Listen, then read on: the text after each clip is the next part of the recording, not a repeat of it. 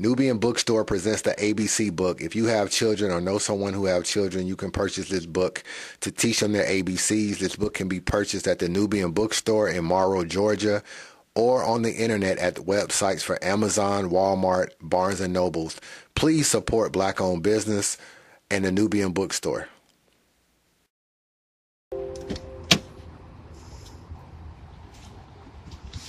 Yeah, yeah, yeah. What a minute, your boy Chris and Box. Checking in, man. Back with another Untold Truth. This is on the homie Norbs. First of all, man, let me give a big shout out to Norbs, man. He could have done this interview with anybody, but he gave me an exclusive interview, man. And that's respect right there. But in this interview, this interview is fire, bro. I'm gonna tell you, this is one of my favorite untold truths. We talk about everything from the lawsuit. You know, there was certain things in the lawsuit we couldn't really get into, but we talk about the lawsuit, his relationship with Smack, Chico, Beasley, the whole URL situation. If y'all niggas like behind the scenes information, I gave you plenty of behind the scenes information. We talked about his start in battle rap with Smack. We talked about who he found in the proving ground and all, everything, man. We talk about everything that we possibly can, man. Just when you thought you may have seen all the Norbs interviews you've seen online, you have not seen the Norbs Untold Truth, man. So make sure you subscribe to the Chris Unbiased channel, man. This channel is about to be lit for battle rap. So let's just get it popping, man. Street Star Norbs, the Untold Truth. URL. I'm sorry, man. I just asked the questions, man. Don't get mad at me, URL. I just asked the questions. When I pull up at events, I don't want no smoke. There are interviews, and then there's Untold Truth. Oh, yeah. It ain't over, motherfuckers. All right, man. So you came out with this lawsuit. Yep. You serve URL. Yep. How are you able to determine your worth?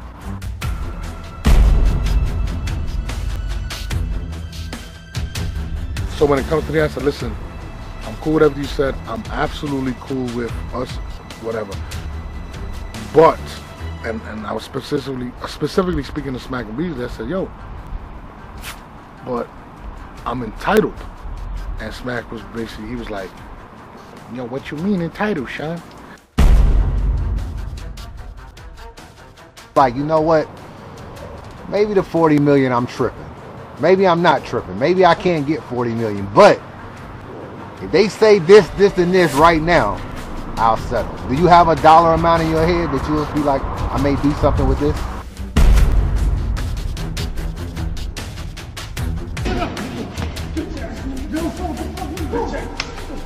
Let me get up. Let this fuck up. What the fuck are you doing, bitch ass nigga? Let me get up. You think I see you hit my baby mom, nigga? I did it, nigga. Huh, nigga? You gonna lie? Then you gonna lie, you piece of shit? Yo. And I get up and I'm holding my ribs. And I'm just like, mm, yo, I think my shit is broke. Like, you know what I'm saying? Like, I'm like, yeah, my ribs is broke. Like, I'm in, I can't lift like my right arm. So, whenever Beasley come, and Beasley like, yo, yo, you good? And I'm looking at him like, Beasley asked, was you good? nigga, I just got my ass whooped. Nigga, what the fuck you talking about good? And at this point, like, Beasley's like, yo, don't worry about it. I got the footage. I'm not gonna drop it. I'm gonna make sure it don't leak.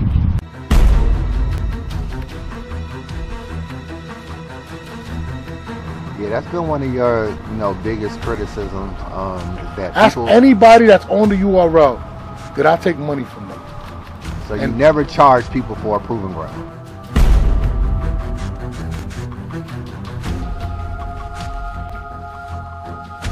Norbs is a funny nigga, bro. And th- that nigga Twork told me they did they did double dated before. And he tried to fuck his baby moms. Lord's a wild dude, man. he fat. Yeah. Fat niggas ain't got no limit. And Fat in Spanish. so Niggas don't got no limit, man. how the hell you gonna get fired on your day off? I don't know. When Calicoe said something and was mocking the situation, I was hurt because I got a different love for Calicoe. Like I don't invite, you know, the nigga nigga been in my crib and helped my daughter. So I was hurt by Calicoe. Um, I'm not gonna lie to you, like I was super hurt by Calicoe um, because like I felt like I had a different relationship with Calicoe, and I felt like him speaking on that and not even reaching out to me to even know what actually went down or, or what not, I felt like it was fucked up.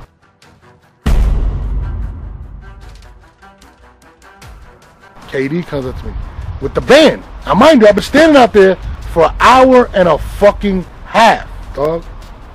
Now you got my band, right? I'm mad. Chico's out there. Like a big nerd. You feel me? So I'm like, yo, just give my man my band, let's go in. Now he's telling me my man can't come in with me. I'm a partner in the company. This nigga wife came in. Everybody coming in. They let K-Shine homeboy in, bro. But you can't get your man. I can't get me and my man.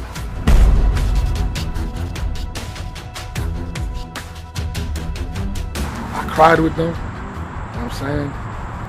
We all we all lost together. You feel me? We built this shit together. You feel me? What what what what happened? You know what I'm saying? Was it the bag? And that's what people don't understand, bro. Like money changes people, bro.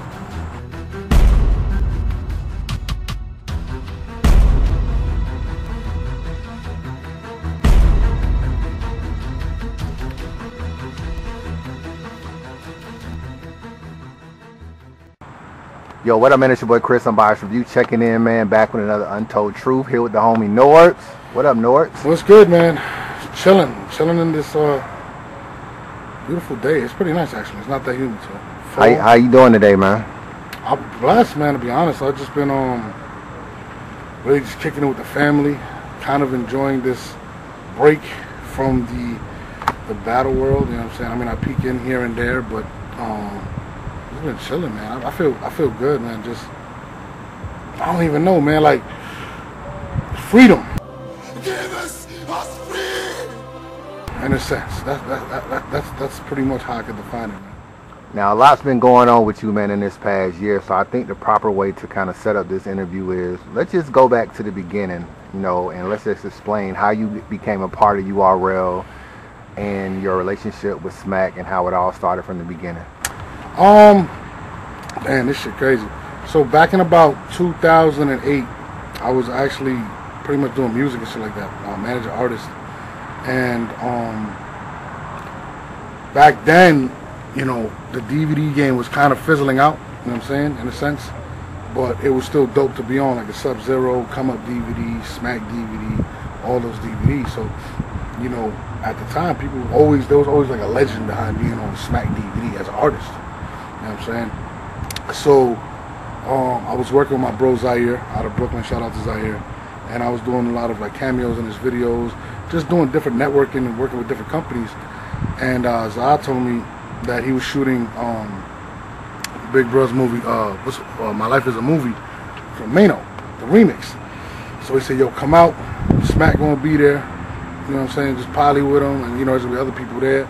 So I said, "Yo, fuck it, I'll come through." So I was supposed to actually do a cameo in the video. I was supposed to be uh, me, Mano. Shout out to Shay Davis. True Life was in it, Nori, and I was gonna be in a scene with them. But I was running around. I got there late, so I seen Smack, and I never knew. I never knew what the hell Smack looked like. To. So I see this little dude, big red hoodie, you know what I'm saying, like a 6X hoodie and whatever, just kind of like, you know, whatever. He's like, yo, that's Smack.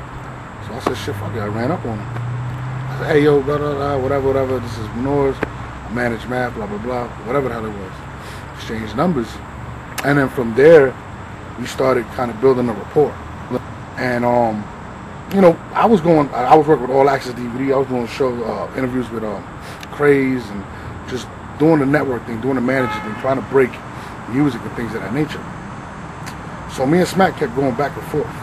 He took a liking to me, and um, you know, he was kind of transitioning or trying to transition from the DVD era to the real world at that time, 2009, which basically became, if you if you follow hip hop, the DVD and mixtape game was like from, well, the mixtape game was like from the early 90s to mid 2000s.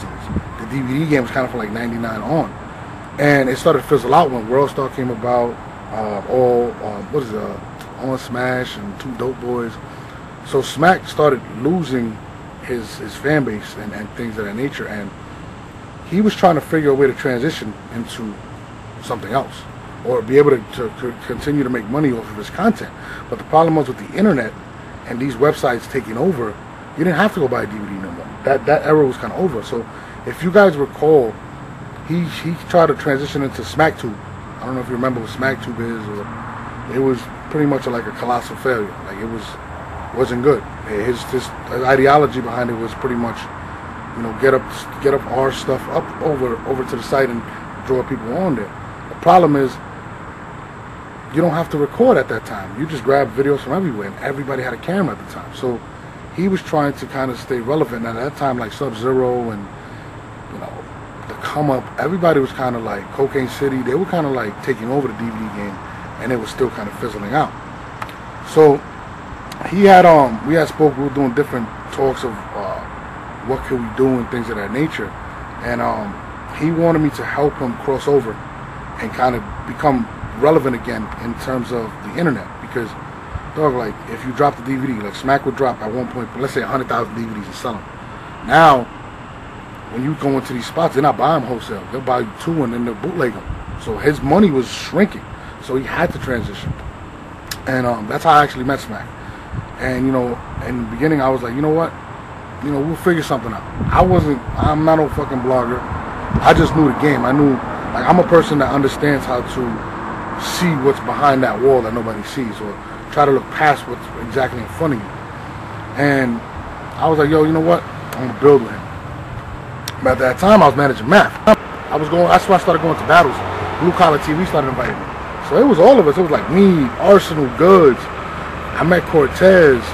We would all just go to these battles, but it was like everybody you see that's up there that's popping, we'd just go. Clips would show up. We would go to this place called Soul Food, which was a sneaker store within Lower East, like the Lower East Side.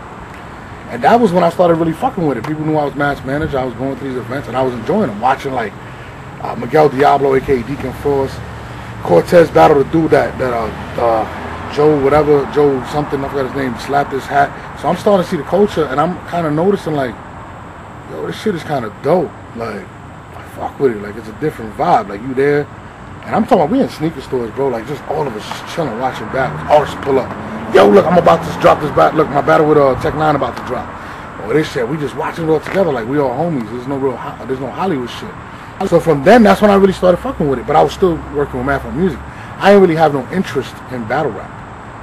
But I had all the plugs because I was running to everybody and I knew everybody.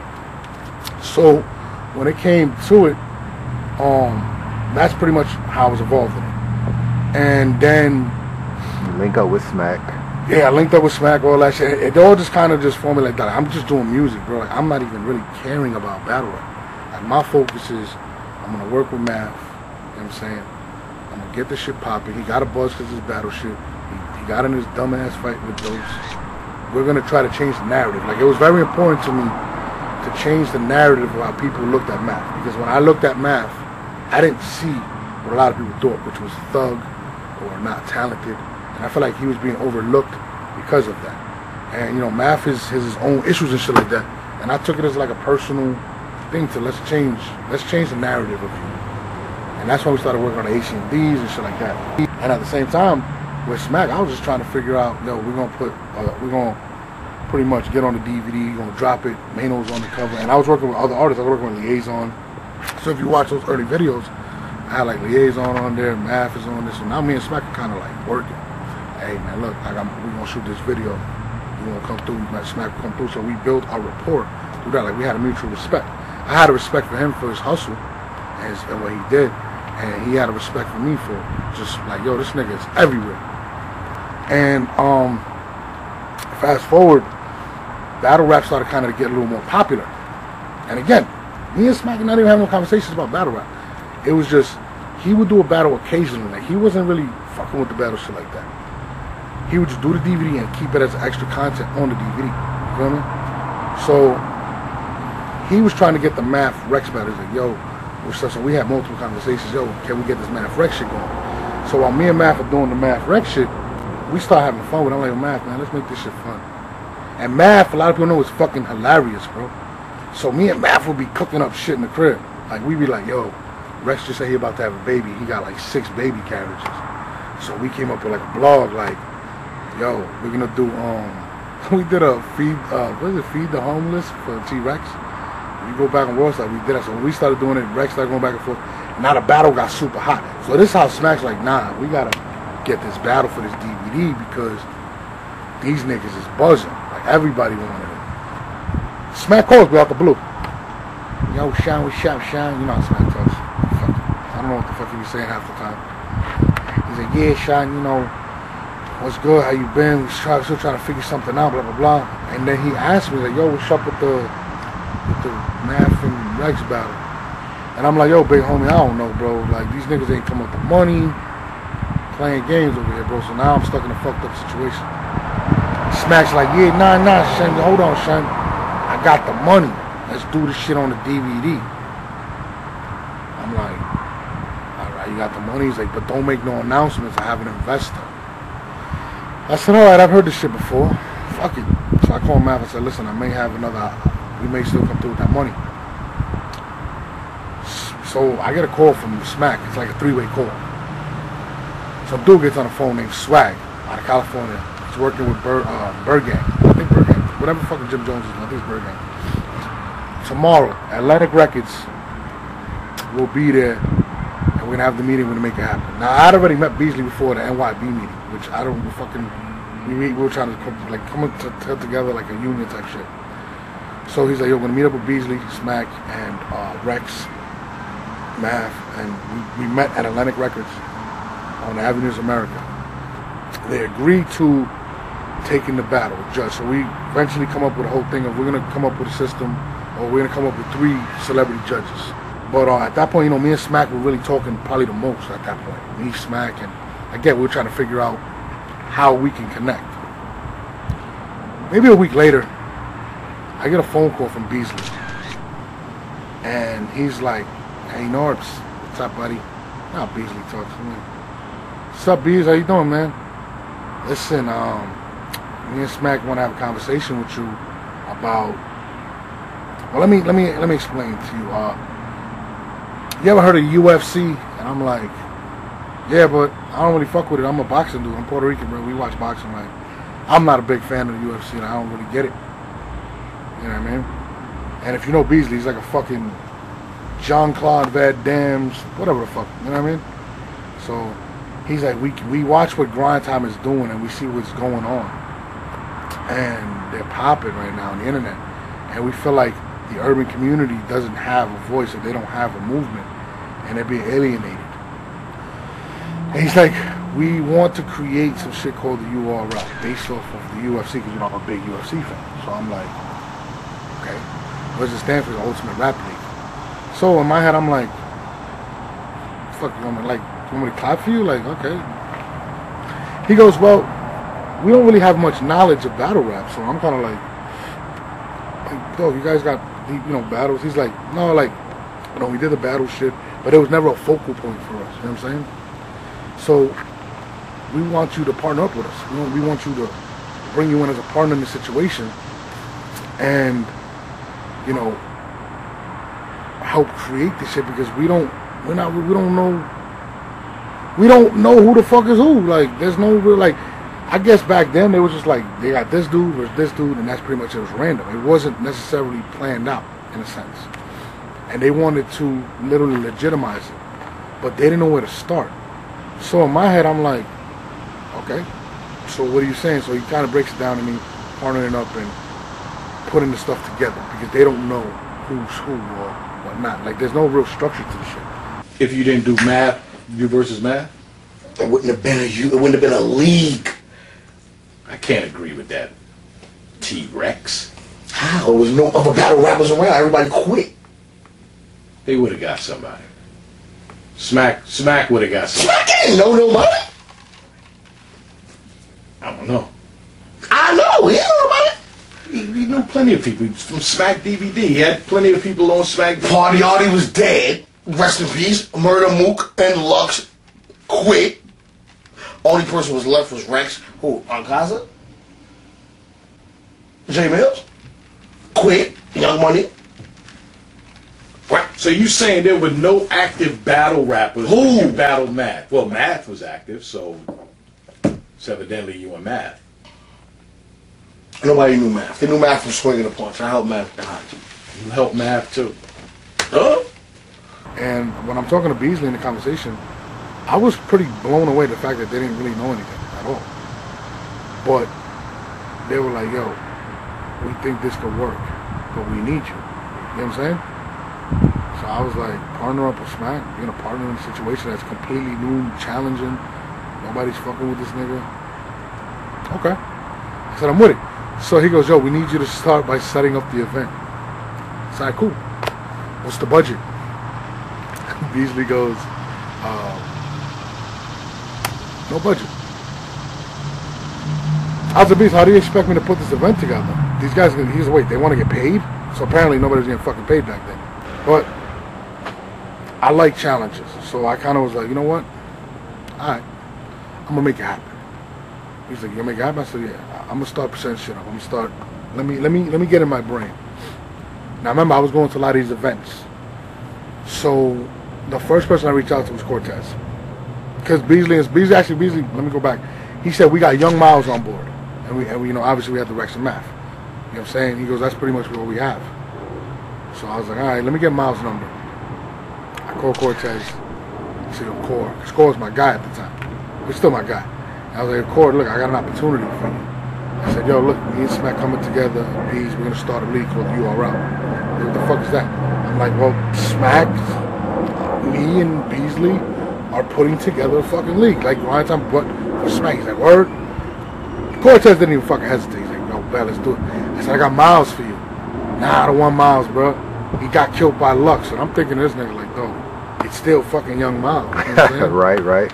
So I'm calling everybody, bro. I called Disaster because this like Diz was just coming off the MTV shit. Diz couldn't do it. I tried to set him up with, at Ice. I never spoke to Ice because Disaster couldn't do it because he was under contract with MTV. Fucking calling everybody. I called Verb. Verb wanted like a thousand dollars. I was like, Brad, Verb, I ain't got his eye, man. You know, Verb was real humble about it though. He was like, Nah, you know, I can't do it. Well, I'm calling everybody. So I, I called Miles and said, You don't want a battery? He goes, Yo, we got X Factor, right? I was like, I didn't know what fuck X Factor was. I never watched it. Pussy nigga, I hate.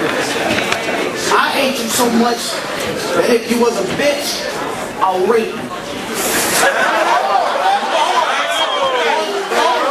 hey, that was some hard shit to say, but this bullshit I don't play.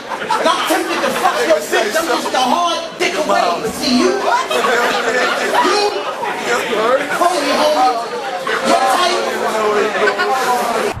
So I called Smack. Smack was like, oh, Sean, X Factor, Sean? oh, Sean, that's, that's what we got. That's what we doing, Sean? And I'm like, for a nigga that don't fucking know, like, you know what I'm saying? Like, I guess he had battled on Smack DVD before and Smack wasn't a fan of him. So I was like, yo, relax. So me and Bees, like, me and Bees always had that relationship. Like, we understood each other. You know what I'm saying? So, you know, Smack was, I was like, whatever. I was like, Beasley, just keep doing what you're doing. So I called Rich Dollaz. Called Rich. I didn't really know Rich Mahoney. Rich was like, I said, Rich, you know, I'm doing this league with Smack. So when you say you don't really know these people, like how how are you getting their information? Like how are you how are you meeting the Cortez X Factors? So and, I knew Rich Cortez. Dollars? I knew Cortez. So I met X Factor through Miles. So at this point, you gotta think about it. I don't have a budget. Whatever relationships I'm having, I'm exhausting them. Like I'm like, you know what? I watch this DVD. I watch them. Like I know who everybody is, but I don't have the contacts. Like a lot of people may know who I am, but they don't know how to get to me. So I called Goodz, and I was like, Goodz, you know, I think he had battled Rich Dollaz for some money or something, and he beat Rich for, for the money. And he got me Richie's number. And Miles put me on X Factor. So I already had Miles. Miles was the number for Miles was given to me through Beasley. So I'm reaching out to everybody. Bam, bam, bam, bam. And Goodz gives me Rich Dollaz number. I call Rich Dollaz, and I'm like, Rich, um, this is the situation. Richie was like, to get on Smack, I'm with it. All right, fuck it. He's like, new battle league, with it. They didn't ask for a fucking dollar. I gave him Miles. He said, give me Miles. Cortez ends up with X Factor. I'm like, nah, I want more in this card. So Miles called me. He's like, yo, there's a guy I think you should check out named Big T. So I'm like, who? He's like, yeah, he's on Lions. And so he sends me this fucking grainy footage, bro. I couldn't even tell if Big T was fat at this point. It was so fucked up, the footage. I watch the footage. I say, oh, this fat nigga's dope. So I bring him on. So Blue Collar TV was like, yo, how about Miguel Diablo? And I'm like, yo, I like Miguel Diablo, which was Deacon Frost. Okay, so we did our history. Now we at the first event, and now you're meeting Chico for the first time. Take me through that, and take me through your initial meeting with Chico, how it was, and what his role was, and what you knew his role to be at that time. Um, the crazy is that's the first time I actually met Chico, but I actually spoke to him on the phone. So when Smack, when Smack brought him to the table, it was kind of like, you know, he was his focal point was building the website, and he was a, a tech savvy individual. You know what I mean? So that was how I met Chico. Like he's just there. I don't really have no No real rapport with him. yeah. Like I don't really know him like that. Like my rapport is Smack and Beasley. So when, when they when they let you know that okay this is this is another partner you know with the URL or whatever and it's, it's y'all four at this time it's all a verbal thing between y'all at, at this point between you you and Smack right it's just like I just want you to be I mean, when we were when we was coming together, it was it was all conversation. I don't I don't believe anybody expected this shit to go where it went. Okay so then you start doing more and more events. You eventually do the Midwest Massacre. You do Big T and Hitman Holla. You end up doing Math and AyeVerb. So are you re- you're recruiting these guys be- you're you're the main person recruiting these guys and it's because your relationship with Mav early on and you're going to events and you basically meeting Yeah. most of these people? So at this time you have the relationships with these artists more so than Smack Beasley or Chico. Well, Smack and Beasley didn't know anything in a sense to where they didn't have the relationships nor they had the knowledge of who was popping and who was not. If you didn't do math, you versus math, It wouldn't have been a you. It wouldn't have been a league. I can't agree with that. T Rex. How? There was no other battle rappers around. Everybody quit. They would have got somebody. Smack Smack would have got somebody. Smack didn't know nobody. I don't know. I know. He didn't know nobody. Like when when we came to the partnership, they were kind of like, well, not kind of. They were like, yo, we don't like we did battles. You feel me? But it wasn't like you gotta stand like that. That era was more like, all right, this your man versus your man, go, and that's it. Like their focus wasn't battle. Like, I, I- like they almost stepped into it, so their knowledge wasn't really into that. So you know, when when I came along, I already had the relationships, like you said, and I know who was gonna pop, who was not. So I was sitting there like, all right, boom, I'm gonna look at. I got Big T, the fat dude. Then I already knew of Hitman Verb and these dudes. I knew of Disaster. I reached out to Disaster to try to get him on the car. Like I was hitting everybody. The problem was there was no money. Like they, we only paid for that swag battle. I mean, the swag only paid for the math battle versus Rex. So at this point, Verb had a little buzz already. He had already battled Marv one. He was already like, you know, he had the SB battle on, on whatever, and some of these guys were already getting paid by grind time. Where hood you from? I'm at your set. Black on black, strap on deck. I grab his head and his heels, then pull until his backbone stretch. Throw him down, tap on that. Run laps on that. Every time Bird got a battle, the hood bet snaps on that. Impressive. How I'm in my third round, and I still ain't cracked the fat joke yet. Remember I told you when Swag got locked up, the money kind of dried up. So we had to figure out money. So we were doing, you know, Swag and Bees still had a little bit of money or whatever, whatever they had to invest. You know what I'm saying? How, you know what I'm saying? Niggas ain't rich, you know what I'm saying? And we would use ticket sales to sell for the most part, and then cover whatever these niggas would pick it up, right? And grind time, I don't know how the fuck they was getting money, but they was signing, trying to book the same guys. So I'm like, yo, this shit's me and Beasley. I remember we'd be at the office, like again, it would always be me, Beasley, and Smack, office. and I'd be like, yo, bro, like, how are we gonna compete with these niggas? Well, they paying mad money. And I remember one day I'm in the office and I was like, yo, dog, you I'm like, if you watch the NBA, you watch the NFL. Eventually, Michael Jordan got to re- retire, and Kobe Bryant takes it, the, the mantle, to the next person, right? Why are we continuing to pay and, and, and argue for the same individuals and continue to raise the price?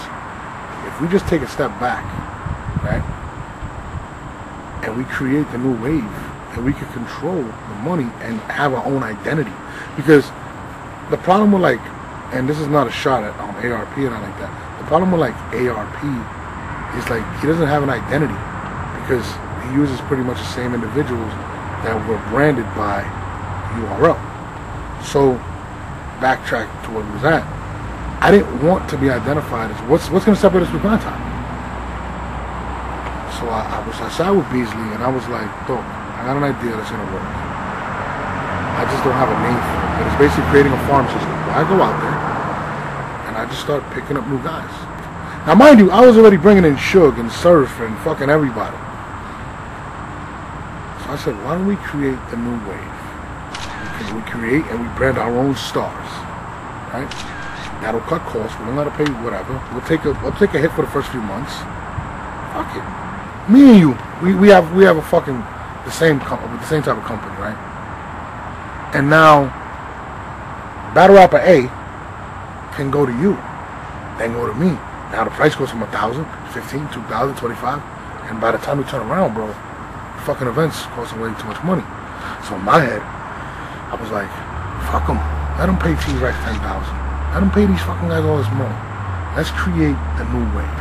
So in my head, like in my head, I'm thinking, if we sacrifice a few months and we build up these kids, they're gonna be superstars, and they're gonna forget about those guys. Let them overpay. You know what I'm saying? And in my head, I'm like, let them go bankrupt. I don't give a fuck. Fuck them. Cause you know, you know what I'm saying? Like, we're not making money. We're doing this for shits and giggles at this point. So Beasley was like, oh, that's that's a crazy ass idea. I didn't have a fucking name, man. One of the intros was sitting there. We had one of these intros, and I think Beasley did like one of these things, and he said something about proving grounds or something where you got to prove. And I was like, that's it, proving grounds. And we said, we sat there, and we were like, we're gonna market it. And then from there, I was like, new challenge. We're gonna create a wave. We're not gonna sit there and focus on the Rexes and the Mavs and the guys that are gonna cost mad money. We're gonna create an entire new wave. Because if you remember, around the time Grind Time had an event where they did, I think I, want to say Awkwards and Rex. And if I'm not mistaken, I know it was the event where they had this nigga perform. What's the guy from Philly? Freeway. So they spent on her like fifty thousand dollars. That was pretty much the end of Grind Time, to be honest with you, because they overpaid.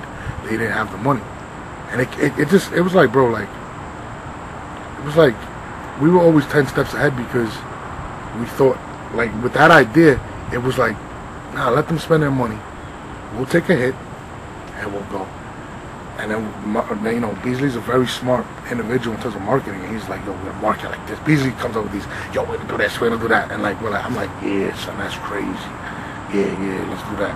And I'm gonna do this, we're gonna do that. And then we started bringing in the first wave.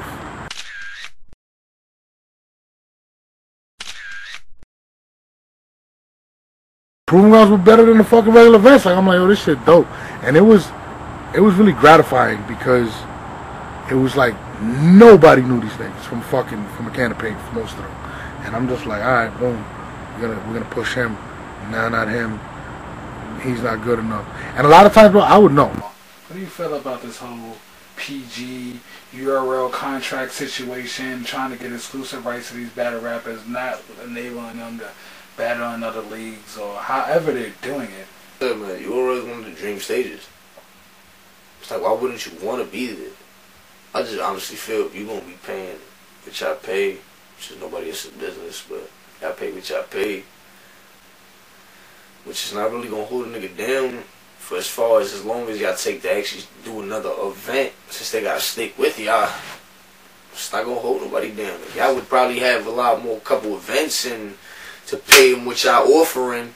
It'd be popping because I, I want I would love you know what I'm saying? And it was crazy is that, let me tell y'all this at the same token, man.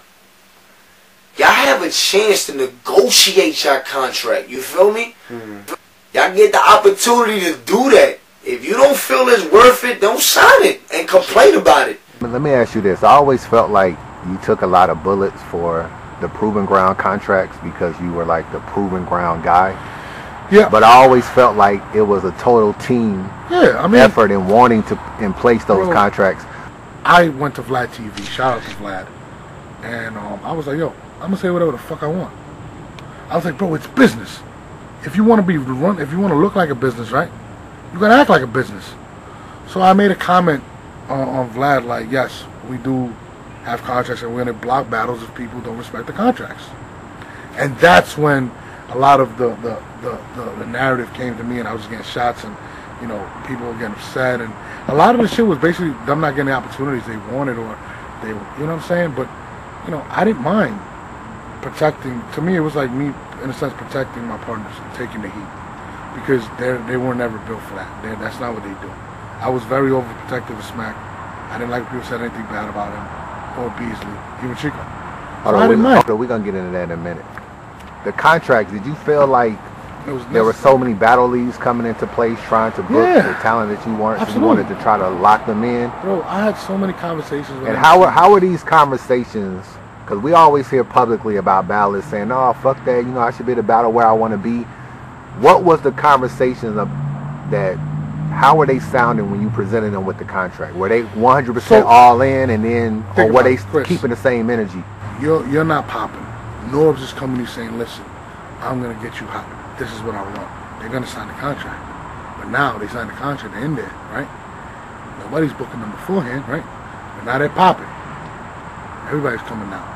Right, or King of the Dot or, or RBE or whoever the fuck. And they're all not getting booked now. Why? Because they're popular. So now I can't blame these kids for not for, for wanting to go somewhere else when they're not getting the same money or you- you're asking somebody who probably doesn't have a job to turn down fifteen dollars and we're paying them four hundred. You know what I'm saying? So that's where that was, but at the same time, you gotta be firm. And I'm gonna speak for my people. It's like, yo, you wanna go fine, we'll find somebody else. And a lot of times I didn't want to do that, but at the end of the day, it's business, and you have to. If one person's not gonna respect the contract and you allow it, then nobody's gonna respect it. Now, what do you say to people that say you didn't find B Magic? Uh, Gracie sent you the footage, so you shouldn't get the credit for it because Gracie was the one that saw the ask you a talent. What, what do you say to that? Did Jerry West trade for Kobe Bryant? Who told him about Kobe Bryant? But he had to make that decision to make that trade, right? He had to make the decision to go and scout him or to send his scouts over there to them. Look, you know how much footage? I'm, fu- not- I'm fucking, I'm fucking with the analogy. I'm Think about this, it. bro. If it was that easy, right? You don't think KOTD, RBE, any of those guys would have a better roster than us when I was making the decisions? Dog, it's not about who sees them. It's identifying that them. I used to get thousands of fucking videos and links, bro. Uh, like Troy Mitchell sent me the link for Swamp, but he also sent me a thousand links to other people. No, he's not good enough, man. Nah, soon as I seen Swamp within eight bars, I said, I said, hey Troy, can he be ready in a week? He's a star. Troy was like, what? You serious? I was like, no, he's a superstar, legit superstar. It's not about You said Troy Mitchell or Troy Martin? Troy, Troy Marshall. Troy, ah, Troy Martin. Yeah, shout out Troy Martin, man. I, I gotta give him a shout out on camera real quick, cause you know, I'm gonna put the link at the bottom. Y'all make sure y'all support the man clothing brand, black owned, all the whole nine. Make sure y'all support him. Shout out to him. He's a good dude too.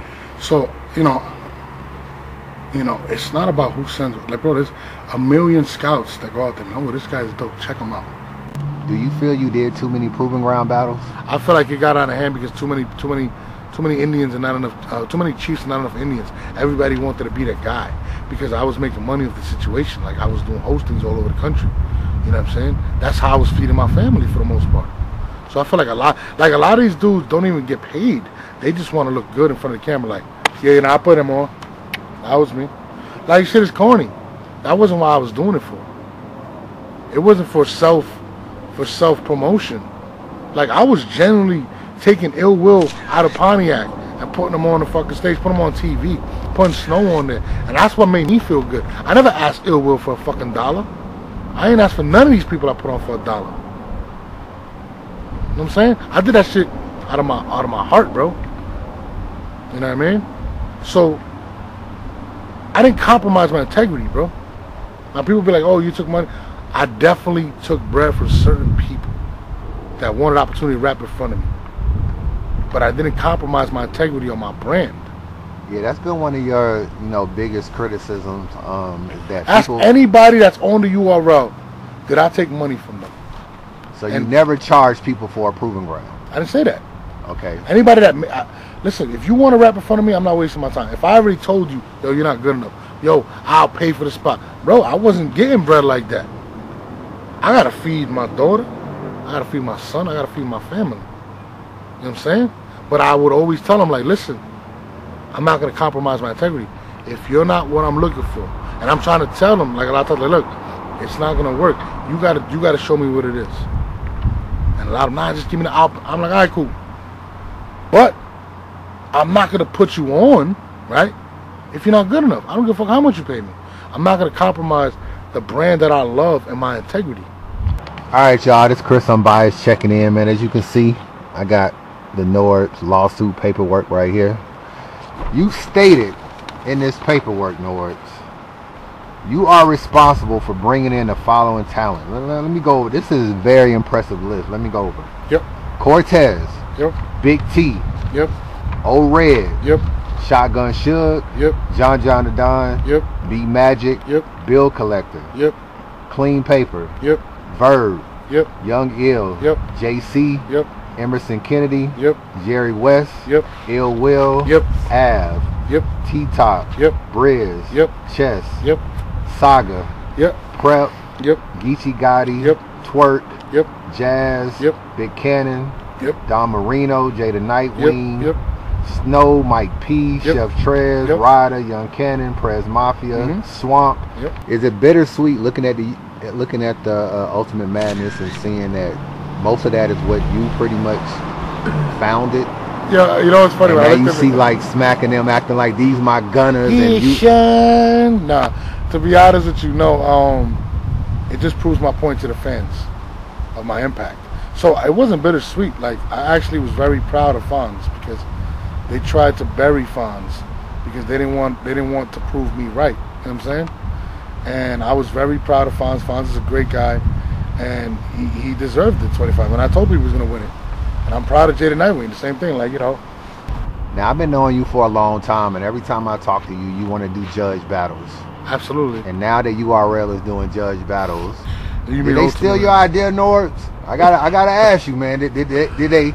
Uh, you mean Did, you mean did they, did they take your did they take your judge battle idea and they, run they, with they it, They took man? the last man standing tournament. They took that, and and they also took the uh, the combine and turned it into the crucible. Like it is what it is. Like they know it. I know it. We're not stupid. like it is what it is. When I had the meeting about the crucible, right? Nigga P calls me SKG on the phone, and this is after like we kind of squashed some of the issues with me and P. But he's like, "Yo, you know, we can't. Do, I have this great idea." I'm listening to the idea, and I'm sitting there listening to the idea, right? And I'm like, "Damn, this shit sounds exactly like the combine. It's exactly the same thing." And um, he said, "Yo, what you think?" Because he's like, "You know, we can't do this without you. You're a jerk. People, people, people love to hate you, and we need you to play that character in this, in this idea." But it wasn't named the Crucible yet. So he's like, "We just got to come up with the name." And I was like, "Yo, you know, it sounds a lot like the Combine." And KG the poet says, "Yeah, just call it the and That's exactly what it is." And I start laughing. I said, "Listen, guys, you know, I'm cool with it, whatnot. You know what I'm saying? Um, if you want to run with it, we run with it, whatever." And KG was like, "You know, it's Crucible. I mean, that's the uh, Combine." And um, you know, when all that shit went down, they didn't even call me to tell me they all of make an announcement about changing the program, and they changed it to the Crucible, and it was the same. It was my concept. And I actually texted me. I said, "Yo, Beats, like you don't think you would call your partner and let him know you? Oh, you know, it's just a lot going on." And, and he was like, "But it's not gonna affect what you got going on." And I was like, "Yo." Every time this nigga talks to me, I feel like now I'm being lied to. And I was just like, whatever, bro. Like, I, I was just fed up at this point. You know what I'm saying?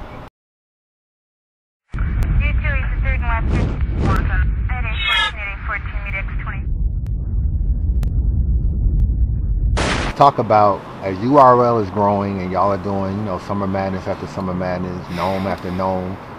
Is your relationship with Smack and Chico still good at this time? Let's just say even as far back as Summer Madness Five, maybe the Hollow.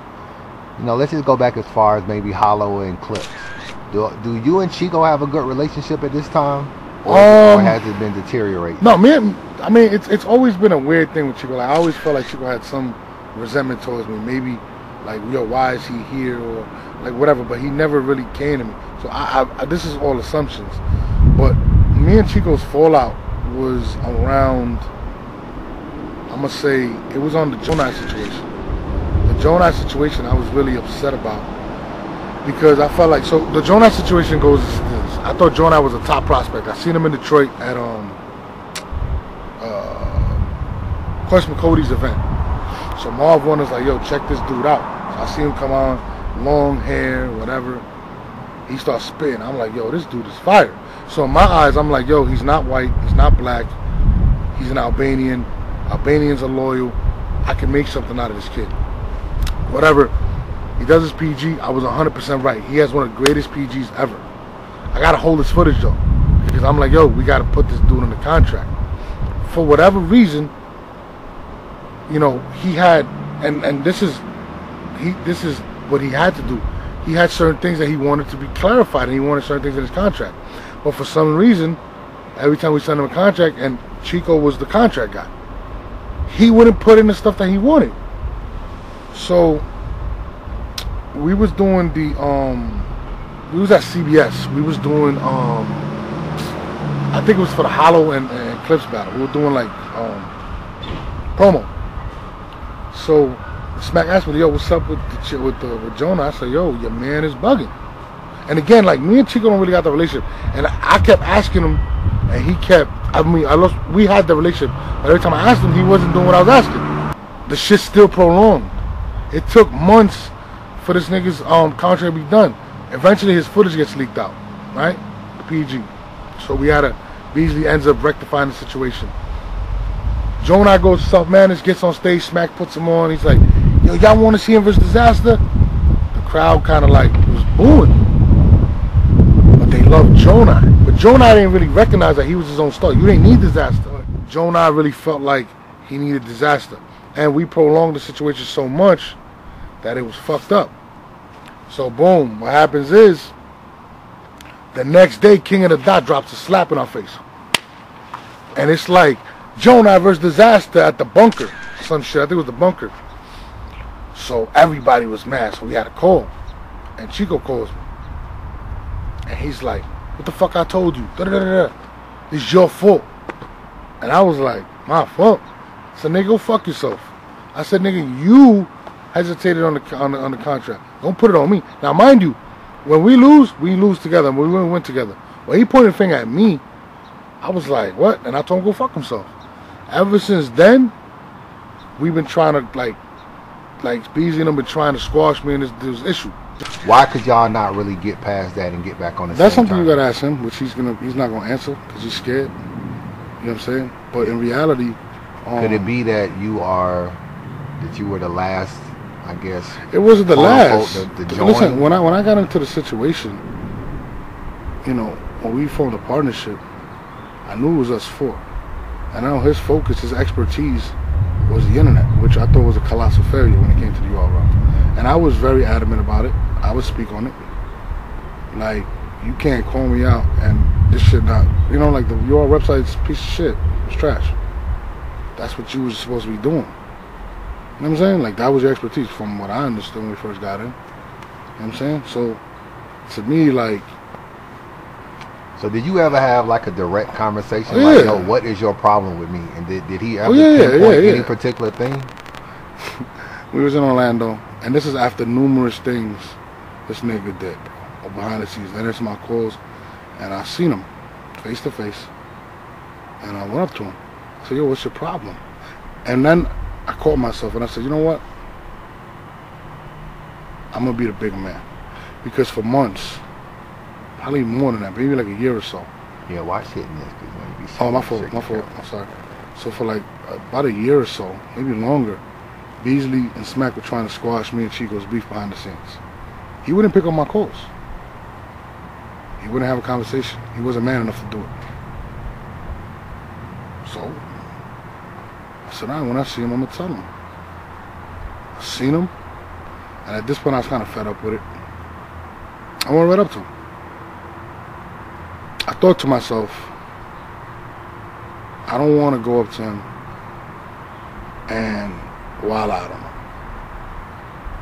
I said, yo, before I say anything, whatever issue you have with me, whatever you felt like I did to you or anything, I want to apologize. I apologize. I don't know what I'm apologizing for. I don't know what I did to you. But for our partnership, I feel like we were supposed to be brothers. You don't answer my text messages. I've offered you to take you out to dinner for months to have a conversation, and you're not willing to have a conversation. 100% facts. And I said, I'm like, I, and I, I got kind of choked up when I told him. I'm not gonna lie. Because it hurt me. You feel me? And I was like, yo, like, I don't even know what I'm apologizing for, bro. To be honest with you, like, you know what I'm saying? Like, you just trying to move past it. And um, I did. And he was like, I said, he goes, you know, nah, I was mad because you told me to go fuck off. Go fuck yourself. And I started to laugh. I said, Chico, we've been through bigger shit as a company. And on like, you didn't feel like you could have called me and been a man about the situation if you felt. I was like, you done told me to go fuck myself. Beasley done told me that shit a hundred times. But, because I told you to go fuck yourself, that's why you was mad? I knew it was deeper than that.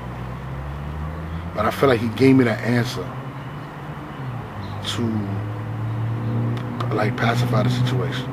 I was being very genuine with him. You know what I'm saying? Like he did a lot of shit. We was in Orlando. And Beasley and Smack called me and they're like, yo, we gonna need you to do the face-offs. You know what I'm saying? Because, you know, we, I had done one with T-Top in Harlem and it was fire, it was good. And Beasley was like, man, ain't nobody could do this shit but you, like, you the one. Behind the scenes, I guess Chico had this some slime bullshit and talked them out of me doing it, but they never told me that. So I showed up to um, Orlando for volume, I don't it was like one of them volumes, one, two, or three. And so I get there, and Matt, my, my little bro Matt, comes into my room. Now, mind you, I, I booked my own room and everything. Last minute, like, no, don't worry, we got your room. So it was a lot of funny shit going on that I was really upset about. Oh, Chico was in charge. Of Chico booking was the in charge of booking the rooms and shit. When I went to LA, I didn't have a room. I had to share it with fucking Matt. It was just it was just becoming now he's sticking it to me behind the scenes. You know what I'm saying? And I was getting agitated. This was pretty much one of the last straws. When I get to Orlando, Matt knocks on my door and throws the keys at me. He's like, yo, Chico said, um, and he gives me like a schedule, like a paper. And he says, um, you know, you gotta pick these guys up at the airport. My nigga, like, the blood just, just like, first of all, I'm with my pregnant wife. I was taking her everywhere with me because she didn't want to be in my crib by herself pregnant like six months. You know what I'm saying? Like, it's just weird. She didn't want to. So I said, yo, come to Orlando, we visit family. And my nigga, like, the vessels in my fucking head was popping. And I pretty much was like, told you go fuck himself. Who the fuck he thinks he's talking to? You know what I'm saying? I'm not no fucking gopher. I'm not a fucking intern. You're flying all these motherfuckers out. He got the car. That's his job. Let him do it. I gotta go do these face-offs. I called Beasley. Beasley's always caught in the middle. I always felt bad for him. Because he's always caught in the middle to diffuse the situation. And he gives me this bullshit excuse. Oh, yo, my bad, Norbs, you know. Last time Chico was picking people up at the airport, blah, blah, blah. And I'm a team nigga, right? But at the same time, I hold a special talent that I can do more things than everybody else. I can do interviews, I can do different stuff. They don't do that type of shit. So I'm like, this nigga's trying to play me. And you're gonna allow it. When I got there, I was like, yo, my nigga, I don't know who the fuck you think you are. You ain't my boss, none of that shit. We partners, my nigga. Don't ever try to play me, son. And like from it just started escalating from there. Bam, bam. Every time. Like niggas don't understand like Tell me about Summer Impact. I'll tell you before that, Summer Madness. London. Oh, this nigga's supposed to book my flight. I'm like, Bees, where's my info? Chico's the guy that books the flights.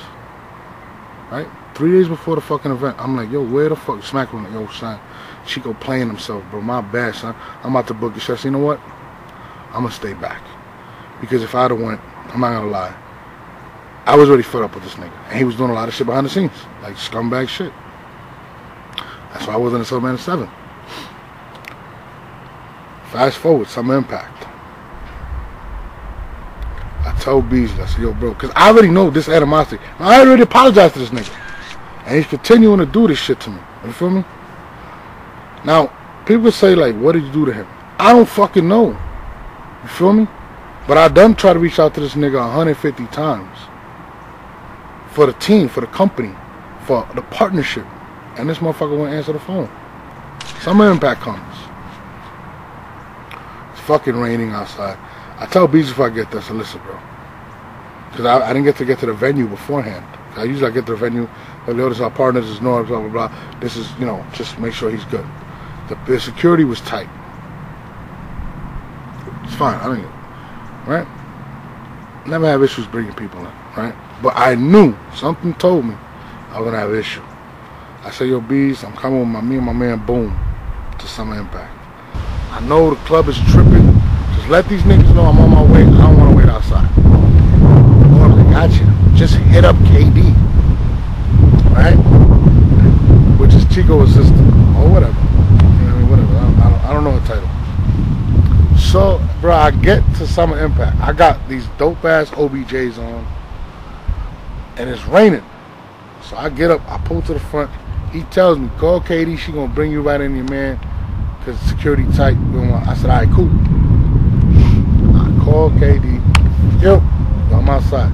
Now mind you, it's fucking raining. So she's like, I know, just give me five minutes, I'll be right out. I was out there for about 30 minutes, right? She comes out mad times. She's bringing mad niggas in. I see P wife come in, this nigga cousin, this nigga man. I'm a partner in this situation.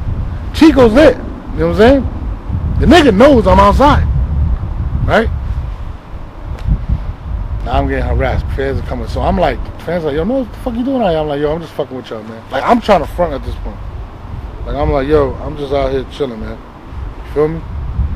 I'm getting hot, my nigga. I had to go in that canopy. I'm seeing her come out and get me. Now, I don't call Beasley because I know I'm losing it. Like, I'm getting mad, right? So, Chris, Smack pull up with like 15 people, right? Smack going, right? No, but before Smack in, I said, you know what? Smack my partner, right? I'm about to pull this nigga Chico car. Cause now I'm, I'm, I'm gonna, I pull up. I, throw the fucking gate open, right? And I'm walking. And they're like, what are you doing? What are you doing? And I'm looking at her like, yo. Who, who's saying that? KD comes up to me with the band. Now, mind you, I've been standing out there for an hour and a fucking half, dog. Now you got my band, right? I'm mad. She goes out there like a big nerd. You feel me? So I'm like, yo, just give my man my band. Let's go in. Now they telling me my man can't come in with me. I'm a partner in the company. This nigga wife came in. Everybody coming in. They let K-Shine homeboy in, bro. But you can't get your man. I can't get me and my man. Right? Now, I'm sitting there and Chico right there. Now, mind you, this is the crazy nobody knows. I start barking on Chico. I'm talking past her. And I'm like, yo, I don't even, why the fuck is she talking to me? Like, that's what I'm saying. I'm flipping. My man's grabbing me. I'm like, dog, just give me, I'm not going nowhere. I'm not fucking leaving my man outside. Like, who the fuck are you talking to? I'm wilding right now. I start barking on Chico. He's like, you can come in, but your man, and I'm like, dog. And he's like, and he started telling me, but who else is coming in? It's only staff. And I'm like, yo, this nigga wife just came in, bro. This mad nigga just came in. Boosh just walked in. Like, he's trying to pacify me. Bro, the cops come. You think that this motherfucker, right, would be like, yo, no, no. The lady threatens to kick me off the premise and arrest me. My own partner is standing there like this. When somebody really wants to rectify a situation, they'll go out their way and do it. But if you, like Chris, me and you got an issue. Me and you had an issue one time. We spoke. We never had an issue after that, right? If if if I'm gonna continue to come at you about an issue, or at least to find out what it is, and you're ignoring it, you want the issue to keep going, right? You ain't trying to fix the issue. You trying to, and that's what I started seeing. Like now, I'm getting phased out. I'm not doing the, the um, you know, like the interviews or I'm not doing promos and I'm purposely getting phased out at these volumes. And I'm sitting there like, damn, like now it's all about, you know, this dude. It's all about him. It's all about Bees. Like Beasley would never get on camera. All of a sudden now it's Beasley on camera. And Beasley don't if you ever watch Beasley interview, he's not comfortable. That's what I did. You know what I'm saying? They didn't want to be in front of the camera. And like it was almost a situation like, yo, we gotta phase him out. And I know Chico had a lot to do with that shit. Like it is what it is. Like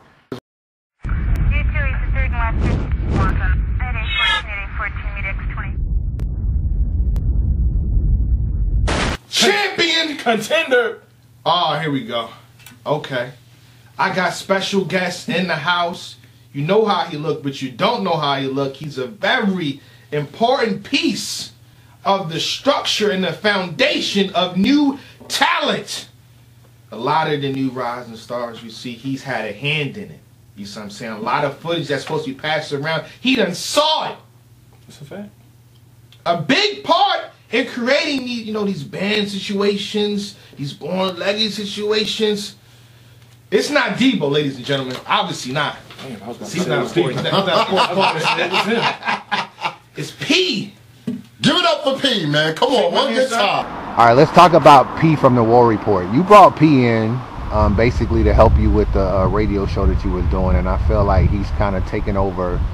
I guess what your what your former role was within the URL. Um, let's talk about you first bringing in PN and how that happened.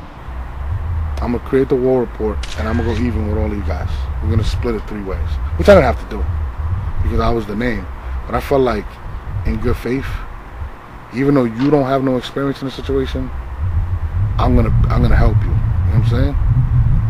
And it was it was kind of like the news situation in a sense, like. But uh, you know, he was um, you know, smart. You know, he gave me a lot of ideas, helped me put up the show. Uh, and I, I kept expanding his role and you know, he's a he's a go-getter type of individual. How did y'all relationship turn? Because to be Um, honest with you, I kind of feel like you kind of hired what eventually turned into like your replacement. How, how did y'all relationship change from you bringing him on to him being had this expanded role? Because P used to tell me he's sitting in conference calls and all this kind of stuff. Like that's a pretty established role. Listen, whatever was again, whatever whatever um relationship he remember me and I ain't fuck with Chico. Um, but he understands forty dollars a pound. We divide and conquer. You know what I'm saying? And he knew because we were close that me and Chico didn't have a relationship. Like a lot of people didn't know behind the scenes. Me and Chico did not get along. So I guess he got in what he fit in, and that became Chico's kind of like personal assistant in a sense. But he was still working with me. We we kind of stopped communicating a lot. He was always talking to, to Chico, Chico, and again, me and Chico don't vibe. So I don't know what conversations they had, which I can almost guarantee it wasn't pleasant. And um, he felt away. And you know, during that break that I was taking, he was doing things that I asked him not to do. I was like, yo, don't do no PGs unless, you know, we agree. He would put out the card. And I'd be like, yo, dog, what are you doing? That's not cool. Like, how are you going over my head in a situation? So I took it offensive. So it started becoming some some petty shit. And a lot of people started saying, oh, it's a power struggle. And I'm like, ain't no power struggle. Like, I don't feel no, you know what I'm saying? Like, I don't give a fuck. I'm a partner in the situation. I don't give a fuck. Like, people had to understand, like, I didn't really give a fuck about people viewing me as a scout because I knew that wasn't what I was. This is what I didn't sign up for. You know what I'm saying? I just did a really good job. And that kind of like separated what people in people's eyes the PGs because he was going out his way to establish himself, which anybody in business, if there's a dog up there, you want to try to knock him out. And um, he was just doing some shit that I wasn't appreciative of. Uh, and like the rappers would come to you like, yo, he asked me not to do the battle at Born Legacy. I'm like, why would he do that? So we had multiple conversations together. Now, again, in terms of the conversations with Chico and him, me and Chico didn't speak. So whatever conversations me and Smack had, it was me, smacking Beasley. Chico's not. Chico don't fuck with me. You know what I'm saying? So that's what people don't understand. Like me and that man did not rock. He did not like the fact that I was a partner. You know what I'm saying? And he didn't like the fact he couldn't tell me what to do. Because I'm not no motherfucking employee. You feel me? So imagine, you could tell that nigga what to do. But you finna not, you're not gonna do that to me. You know what I'm saying? So, like a lot of times what would happen is Chico would call Beasley to cry. So then Beasley would come to me. You know what I'm saying? Like, yo, yo, Chico feel like you couldn't have said this. You shouldn't have said this. You know, you're a part of the situation. It looks crazy. And I'm just like, why the fuck he ain't calling me? So do you feel like like P's relationship with Chico was allowing or making him feel like he could get stuff Absolutely, 100%. over you? Yeah, absolutely, absolutely. Like it's cool, but it's just, it's just like I said, he understands how. Like he's he's good at manipulating, and that's what he did. And you know, you gotta take your hat off to him. Like he gonna do interviews and be like, "Shit, you just make me laugh." I see like interview where he'll be like, "Yo, I gotta get shout out the Doors, man. Without him, I wouldn't be here." And I sit there like, "Nigga, you don't want to say that shit. You want to say fuck that nigga." Norbs got Norbs at all podcast. Yeah. Shout out to Norbs. Yeah. You know what I'm saying? Like I'm not gonna be fake and be like, "Yeah, shout out to Pete." I don't fuck with you, nigga. You feel me? Like, just be real about it. But he's very excellent at painting a picture that's not. You know what I'm saying? So you s- you felt like P was calling artists and, and talking behind your back and, and, and talking to Chico behind your back. I mean, it's feel- not like I felt like it. I knew it. Like it was cool. Like, you know. URL, um, you want to call with Quay Ray.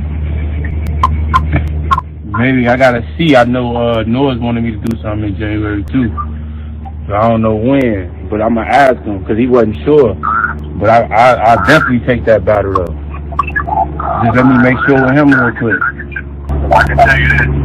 Ain't ain't going down, he ain't got nothing going down again. I can tell you that. Uh, Noah's ain't got shit in January. That's just. So I, I don't like doing of shit. But I'm, I'm on all the comments. I'm on, on all the comments on me, you know, me, Beasley, Chico, and Smack. Those, those, not, he's URL, but he's not, like, well, you see, well, I'll put it this way. You see how shit look different from what he does and the other shit that happens. Yeah, yeah, definitely a difference. Okay, see, there, there, that's that's the reason there's a difference. You know, um, hold on, hold on, hold on, hold on. But um, so I, I I know everything we're doing. I know everything that's going on. I know when we're doing it. You know, um, now this is the thing. I know everything we're doing. He's not on these calls. He knows what he would like to do. When you when you look at bringing Nunu Nails and P in, do you feel like betrayed by them in, in, in some type of way, or how do you feel seeing them still a part of URL and you no longer a part of URL? Um, if I look at it on a personal level, do I feel betrayed? I feel like he's grimy, but he was grimy with a goal. I should have recognized that shit a long time ago and moved on. So, in retrospect, I feel like things happen for a reason, and P was part of my story. Do I regret helping him? Sometimes I think about it like that, but at the same time, he helped me get out of a situation that I wasn't really happy without even doing it consciously. You know what I'm saying? Um, but will we be having tea and, and crumpets? No. Would I would in my next venture would I ask for services? Absolutely not, because I feel like the loyalty wasn't there. You know what I'm saying? And I hope he doesn't think that they have his loyalty and interest. You know what I'm saying?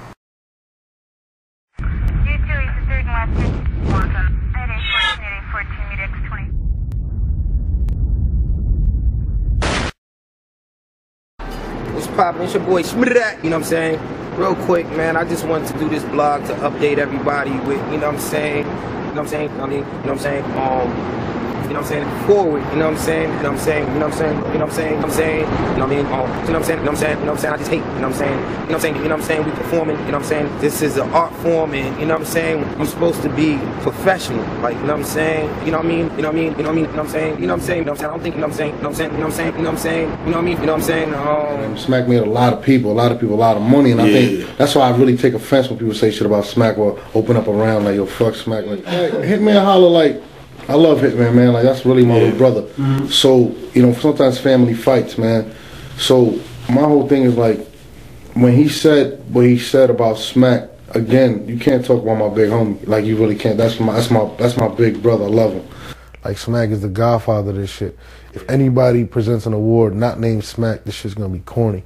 And I'm not just saying that because that's my big bro, but like, come on, my nigga, like, he's that guy. I always felt every interview that I ever saw you speak of Smack, it was always so glowingly. And Yeah. I love you know, I went back to YouTube. I tried to do a lot of searching. I couldn't find many interviews They where show me love. Yeah. where he openly thanked you or showed you love. Or I mean, I remember an interview where you were actually interviewing him after the event, and you know, you're interviewing him. He's talking about the event and how it was a success, and this was my I favorite mean- battle, and that. But he never was like, you know what, Norbs, I appreciate you, you know, being a part of this or whatever the case may be. Do you feel when you were in the moment? Were you seeing this too, or are you just so You know- in it that you don't see it? You ever seen? Uh, you know when they say, like a woman's battered, and why do you keep taking it? If you- everybody sees it but the woman. Come on. Some of this cake. Come, on, piece of cake. Eat some cake. Yeah. Oh, so you done No, lost I, your I, I, motherfucking mind. leave her, leave her alone. I. Come on. Come on, bitch. Get up. Huh? Come on. Get up. It's kind of like that. You know what I'm saying? Like I got it from a lot of people. Like, yo, this nigga's not really fucking with you, showing you love like that. And I would be like, nah, man, I love him. And, you know what I'm saying? Like I love him. Like that's my brother. I'm going to the end with him. We're gonna get rich together. We're gonna do this. So that was always my mentality, and I chose not to see it. You know I'm saying? Looking back on it now, and what you said, it, I did the same thing once. I was like, damn, son, like it was almost like a jealousy. And I started realizing over the years that they felt as if, no, it was like you're kind of outshining them. People are giving you a lot of credit, whatever. And I remember one time in Times Square, we was uh we was somewhere in the fucking city, and Smack's like, yo, Shan, and people recognizing me out there, and I'm like, yeah, you know, Smack, it is what it is. We popping. He's like, yo, let's go outside. Let's see who gets more people to come up to him and take pictures. And it kind of showed me a lot about his um character. You know what I'm saying? And I was like, and I kind of took it like, okay, this nigga feels like he needs to get more praise in a sense to, to push. And that's why I kind of was like, you know what? I'm gonna fall back a little bit, do what I do, and make it to where he gets the respect he deserves. Like I was kind of sacrificing myself for him in a sense because he was smack. Know what I'm saying?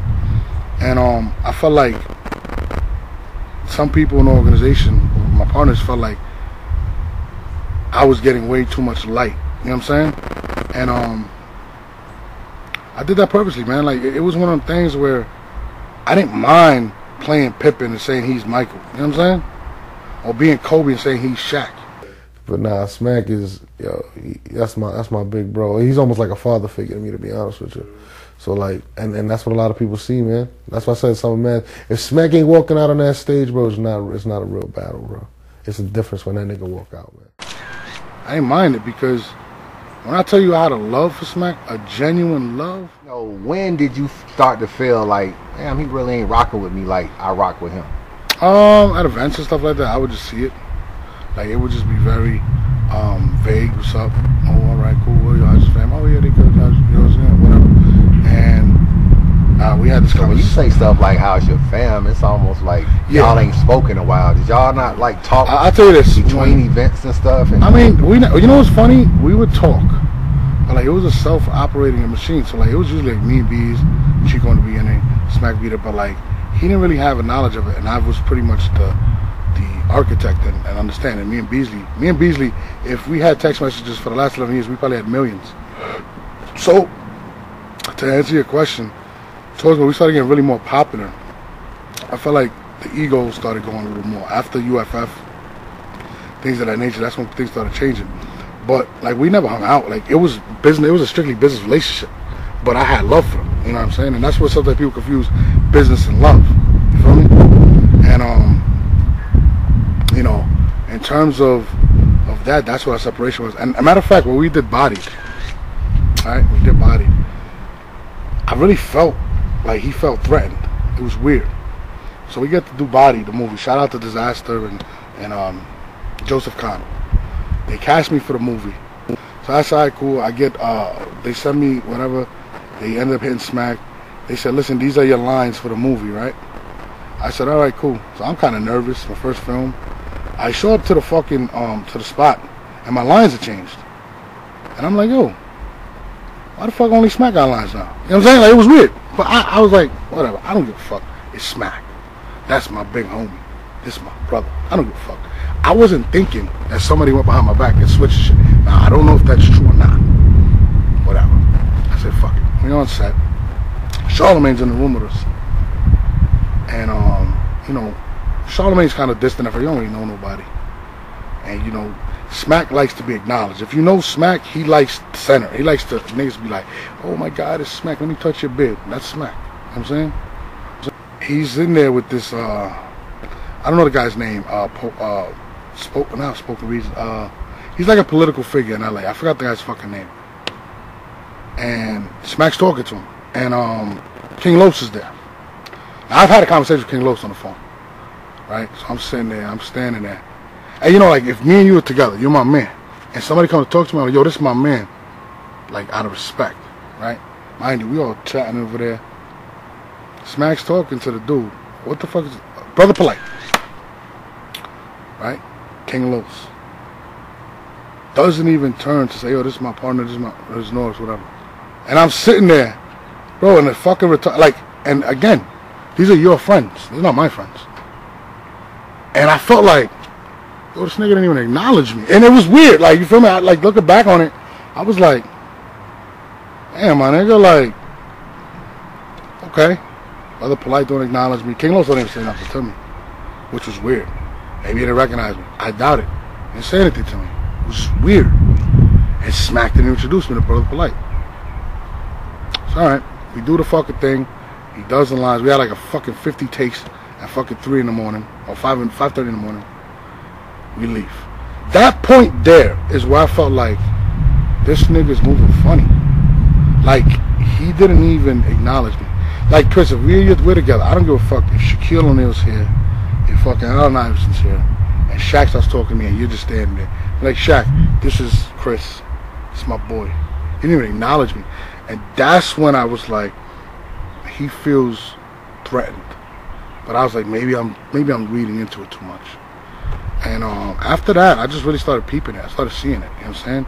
Uh, you know, when we did 106 & Park, right? It was me and Smack. Watch it the whole time. The producers knew. We're partners. These guys are scared to be on camera. It's just me and Smack. It was it was a spot for Smack, Bow Wow, and me the entire time over there. The producers had it X'd out. Norb, Smack, and Bow Wow, right? When he shot the shit for, for Netflix, I didn't even get a call. I found out after they shot it. Beans is going first. We're gonna get into it, so let's get it. DJ Head. And I was just like, hmm, it's weird. That's interesting. And I was like, yo, why didn't I get a call? Oh, yeah, oh, yeah. No problem. So Floyd Mayweather shit was mad funny. This is, this nigga Smack would do some funny shit, bro. So we're going to Vegas for Summer Madness, right? So Beasley's like, yo, bro, we're coming up with ideas for some man. And again, I don't talk to this prick Gene French. Right? Chico, for those y'all that don't know. I call him Jerkoff. So you guys want to call him, they call him. So um, I, I, don't talk to this prick. So he goes, yo, like we're looking for a place to, to do whatever. I go, yo, it's Vegas. It's fucking. fucking use Floyd's gym. He's like, yo, you think you get it? I was like, I don't. So I, I call my bro, um, SL 500.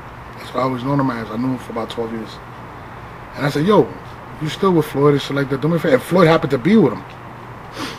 So I said, um, I said, yo, bro, yo, you think you could, we could, uh, you could ask Floyd if we could get the gym? Get... So he's like, yo, I'm with Floyd right now. I'm asking him. So he tells Floyd, he said, yo, Floyd, this nigga Norbs, they're doing the smack event out there. They want to know if they can use the gym. So Floyd was like, nigga, for no battles, hell no. These niggas, so Floyd, he was like, nah, nah, for face offs and shit like that. He charges for face offs. So Floyd was like, yeah. Now, mind you, nobody talks to Floyd, bro. Floyd is the fucking president. So he's like, yo, Floyd said it's cool. I said, word. So boom, I called Bees. Said, yo, Bees. Floyd said, yeah. He said, fuck out of here. I said, yeah, nigga. He said, yeah. Like dead ass. I said, yeah, I just got off the phone with them niggas. So Beasley's harassing me to get the Wi-Fi shit and all that. Whatever. We finally get it in. Boom. We get we get everything. Tech Nine is there. Uh, he's mad hype. He's a Mayweather fan. He's like, yo, whatever. Everybody's hyped there in the gym. So The day before, the nigga um the nigga hits me cell. He said, "Hey man, Floyd coming." I said, "What?" He said, "Yeah, nigga, Floyd he gonna come through, show love." I was like, "Nigga, stop playing." He goes, "Yo, I'm not making no promises." But Floyd said he flying in. For, nigga flew in from Miami to Vegas come fuck with us. Smack never had a conversation with this nigga, right? Beasley, nobody. Floyd comes, and Floyd, you know, Floyd busy nigga. Floyd was like, yo, no cameras, no pictures, nothing. So I don't gonna bother Floyd. So I like, yo, bro, tell that nigga if I get a picture, cause I'm a big fan. I ain't want to see him with groupie. So Floyd says, y'all gotta go. Tell them niggas to put Rex to battle, cause I can't see Rex and Reed. Rex Reed battle, Floyd about to leave. These niggas go and grab, smack. Right? Mind you, my nigga. I invited this nigga. I got him in everything. Smack go in front of the camera. He's like, yeah, Shane, you know, I had to reach out to my brother Floyd Mayweather. And I'm sitting there like, What's up? And we out here, man. First, that's the first thing I want to talk to you about. How the hell the big homie. did this happen, man? We doing the face Oh, off man. in Floyd Mayweather's gym, bro. Yeah, man, you know, you know, legends respect legends at the end of the day. You understand what I'm saying? You know, Floyd a legend, I'm a legend, you know, um, it's only right I check in, you know what I'm saying? I'm in the city. I gotta check in. And then, you know, you know, you just embrace with open arms. It's like, yo, you know what I mean? You know, come use the facility or whatever. So, you know, it's all good. You know what I'm saying? Definitely took him up on that offer and um we here, you know what I mean? We doing a face offs. We doing a face offs at, at the Mayweather gym. Floyd ain't had no motherfucking conversation with this nigga. Now again, I'm trying to check my ego at this point. But nigga, you didn't reach out to him, but you made it look like the nigga came for you and didn't even be like, hey man, this nigga Norbs hollered at the nigga. And I'm sitting there like, and that's what I said, like, piece, shit started piecing together like, yo, this nigga really trying take all the credit. And I even spoke, matter of fact, I had Beasley on the interview, and I said, yo, Beasley, who brought Floyd to the, to the venue? He didn't want to say it loud. I said, yo, who brought, he's like, it was you, Norbs. It was, and I'm like, but I did that shit, like, people like, yo, that's mad petty. But it just showed mentality. you know, legends respect legends at the end of the day. You understand what I'm saying? You know, Floyd a legend, I'm a legend, you know, um, it's only right I check in, you know what I'm saying? I'm in the city. You know what I'm saying? It was more shit. Like, it was crazy. Like, people don't realize, like, before King of the Dot got the deal with Twitch, Twitch came to me. You know what I'm saying? They came right to me. Right? And they're like, hey, Norris, can we have a conversation? You and the partners. I said, all right, cool. Me, Beasley. Immediately. Like, yo, Twitch, yo, this dude, whatever. I'm not going to say the person's name from Twitch. I had a meeting. But it was just like, I'm coming to y'all as my partner. Like, look, this is what we got going on. We're going to eat. But it wasn't the same respect. So it was just weird, man. When I had my my daughter, right, when I had a baby shower, I invited Smack. He never responded. Beasley responded for him. And this is when, like, what? Give me a time frame. 2016. 2016. Okay. 2016 going 2000. My daughter was born, no, no, I'm bullshitting. My daughter was born 2018, so 2017. So I was like, yo, my baby shower. He never really responded. And again, this is after the Bodied shit, and all that stuff. And I already started feeling away with him. Not away. I didn't feel nothing. I was like, yo, fuck it. He don't fuck me, he don't fuck with me. It's business. We just keep it going. I still had the love for him. Beasley shows up to my baby shower, and he makes an excuse for, for Smack. Of course, she's gonna show up. She hates my fucking guts. Um, and um, me and Beasley just like, yo, bro, like I would talk to Beasley. Let, let me, let me, like, and this is this is like an emotional thing for me in this part because Beasley was really my brother. Like, bro, me and Beasley used to talk about on my face. Nah, but when you get emotional. Me and Beasley, shut up, nigga. um, Beasley is is um, we were like brothers, bro. Like, we would laugh, talk, like, bro. I would. It would be very rare that me and Beasley went a day without talking. He would FaceTime me with his daughter. His daughter would call me uncle. You know what I'm saying? Like, I her, I, I have my daughter. Yo, this is look at is Uncle Beasley. He would, you know, send stuff for my daughter. Like our relationship was different than Smacks and mine. Like it was, you know, bro, like everything. Like millions of text messages, millions of conversations. Like I genuinely love Beasley. You know what I'm saying? So throughout this situation, that's probably the hardest situation, not being able to call somebody that I really considered my brother. Or to text and be like, damn, Beasley, I'm really feeling a way about this. Like, Beasley was really the medium between all of us. And I always said it. I, was, I felt Beasley was the hardest situation. I felt, now I feel betrayed by Beasley.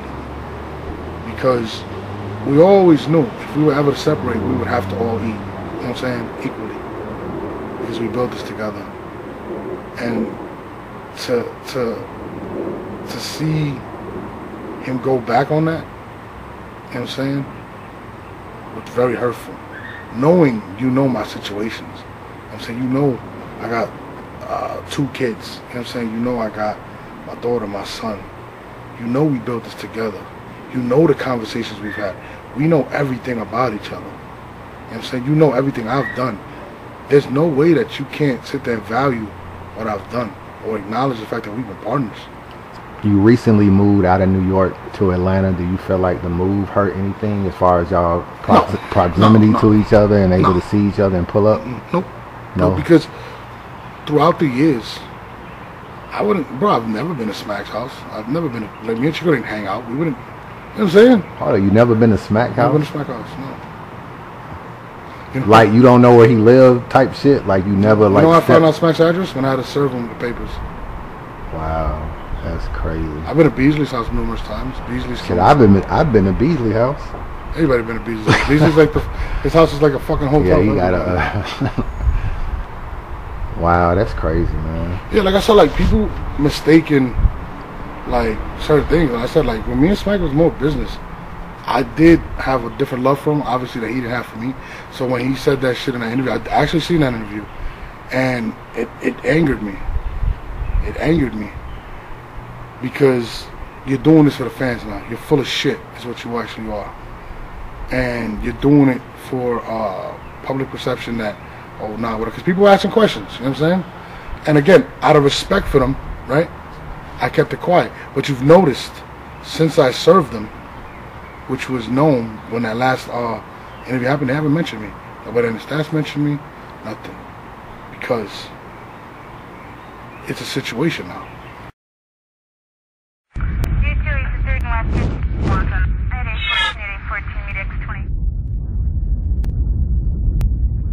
It wasn't that I was mad, bro. I was really hurt behind that shit. I wasn't. I was never really upset. I was really hurt. That shit's fucked up, my nigga. You did some fucked up shit. You feel what I'm saying? Like you supposed to be my homie, and you messaging my baby mom asking her for new pictures and, and all this kind of shit. Well, you been a slime ball Norbs and trying to smash Twork baby mama. I was being a, I was listen. I accept my faults in the situation. Like, Like I said, like I apologized before and all that. But again, it takes two to tango, and I was just like, when that shit happened, whatever. I accepted what I did, and like I said, I'm not mad at that he got mad or whatnot. Even though to me it wasn't that crazy, but whatever. I accepted. I wasn't right in the situation, but I also wasn't the only person that was wrong in the situation. Take me to y'all altercation when y'all when you when you show up at the venue. Um, is there a conversation between you and Twork No, before, like before this people, altercation people happened? like people like yo, why didn't you do this? And I'm sitting there like, nigga, like, I, like pretty much. I was interviewing Rum Nitty, interviewing him, whatever. I'm interviewing him about Cassidy and uh, Conceited, and like I got my back turned. Like I'm interviewing, like how you looking at me, but there's there's I'm looking this way, so like there's nobody there, and um like I look to the right and I see like I see Twork, but like I see him from a distance, and like when I seen him, it was almost like I caught him doing something. Like he stopped what he was doing, and I was just like, I don't know what these niggas doing. And so I get into the interview, and I got my hoodie on just like this, actually, ironically, and um, I got my head down, and then I just hit you, bitch ass nigga, and I get hit like from the side. Now it's crazy. I'm only I'm focused like on on on Nitty, so when I get hit, I'm off balance, and then I just feel something just on top of me, boom, boom, boom, boom. You know what I'm saying? So like I don't even got my balance. So like again, I never really watched this shit, but when I, I watched a little bit of it, so when I like I guess it takes place when I'm getting flipped over, But at that point, I already got hit like six, seven times, and I'm getting. So when I fall, I land on my right side. So at that point, I was weighing, I lost like what 60 pounds. So I was weighing about 350, right? And then I guess he landed on me, and that's when I realized who it was, in a sense. And I'm trying to get up. I couldn't really get up, and I didn't realize like, you know, when when you get hit, your adrenaline's pumping. So when I finally like, I'm saying like, yo, you want to fight? Let me get up. Let's get it in. That's what I keep saying. I'm getting kicked all type of shit, but I don't really feel anything because my adrenaline. So after he like walked off, he's like, ah, whatever. I try to get up, and when I get up, I'm like, I'm in like. So y'all have that altercation, and he just walks off. Yeah, he bounces. He leaves. So at this point, who's around and like, is this like the end of the event? No, this is this is like the middle. Like everybody there. Nobody even try to like separate us to let us fight or nothing. But again, none of these niggas owe me shit. But I think they do. At least separate us, let us fight. So I get up and I get up and I'm holding my ribs. And I'm just like, mm, yo, I think my shit just broke. Like you know what I'm saying? Like I'm like, yeah, my ribs is broke. Like I'm in I can't lift like my right arm. So whenever Beasley come and Beasley like, yo, yo, you good? And I'm looking at him like Beasley asked, "Was you good?" nigga, I just got my ass whooped, nigga. What the fuck you talking about good? So like I'm like, yo, let me go like like let me go to the bathroom, let me look at myself. So I go in there and I'm just like, oh, I can't lift my arm. Like I'm like I like at this point I'm just like, yo, like something's broken. You know what I'm saying? So I'm like I'm mad as fuck right now. But I know I can't move. So I tell Bees like I'm like, yo, set the fair one up, whatever. But nigga, I can't this is gonna kill me. I got one arm at this point. You know what I'm saying? So I said, you know what? Let me go home. Let me get right. And at this point, like, Beezy's like, yo, don't worry about it. I got the footage. I'm not gonna drop it. I'm gonna make sure it don't leak. Right? So I'm like, all right, cool. we gonna handle this like men. I'm you know what I'm saying? Like at this point I'm like, I'm gonna end up getting a fair Now, now when, when he says this, you you actually know that it was being recorded? Yeah, I seen it. But I, I don't give a fuck who recording shit. So he, when he seen the shit, he's like, yo, I know we got the footage. I'm not gonna let it out. Whatever. So I leave the crib. I'm I leave. I take a cab to my crib. I wake up to the footage. First thought in my head was, didn't this motherfucker say that? I said, all right. So this nigga want to put it out. So in my head, I'm not even thinking in my head like, So do you know that drugs recorded it at this time, or you don't? You just yeah. know it's no, no, I knew, no, I knew. Oh, you knew? Okay. But I know that's his boyfriend, so I ain't really care. You know what I'm saying? So I'm like, all right, cool. So I'm not, whatever. I'm like, in my head, I'm like, if you a street dude, right, and you do something to somebody, right, you expecting it back because it's not the streets. So when the shit got out, I was like, oh, this nigga don't want retaliation. Because when you put like, if some, if an incident happens, right, and the shit gets out, right, now you're telling. You know what I'm saying? So like if something was to happen in New Jersey Detroit the next day, who's the prime suspect? Me. At this point I'm not even thinking about that shit. Like I'm like emotionally I'm I'm embarrassed. At this point, you still want to shoot a fade? At this point, I didn't want to shoot a fade. I wanted to shoot him. like, I'm not even gonna lie to you. Like I'm gonna keep it real just. Like I wasn't even thinking fade at this point. Like you understand? Like it's just psychologically at this point.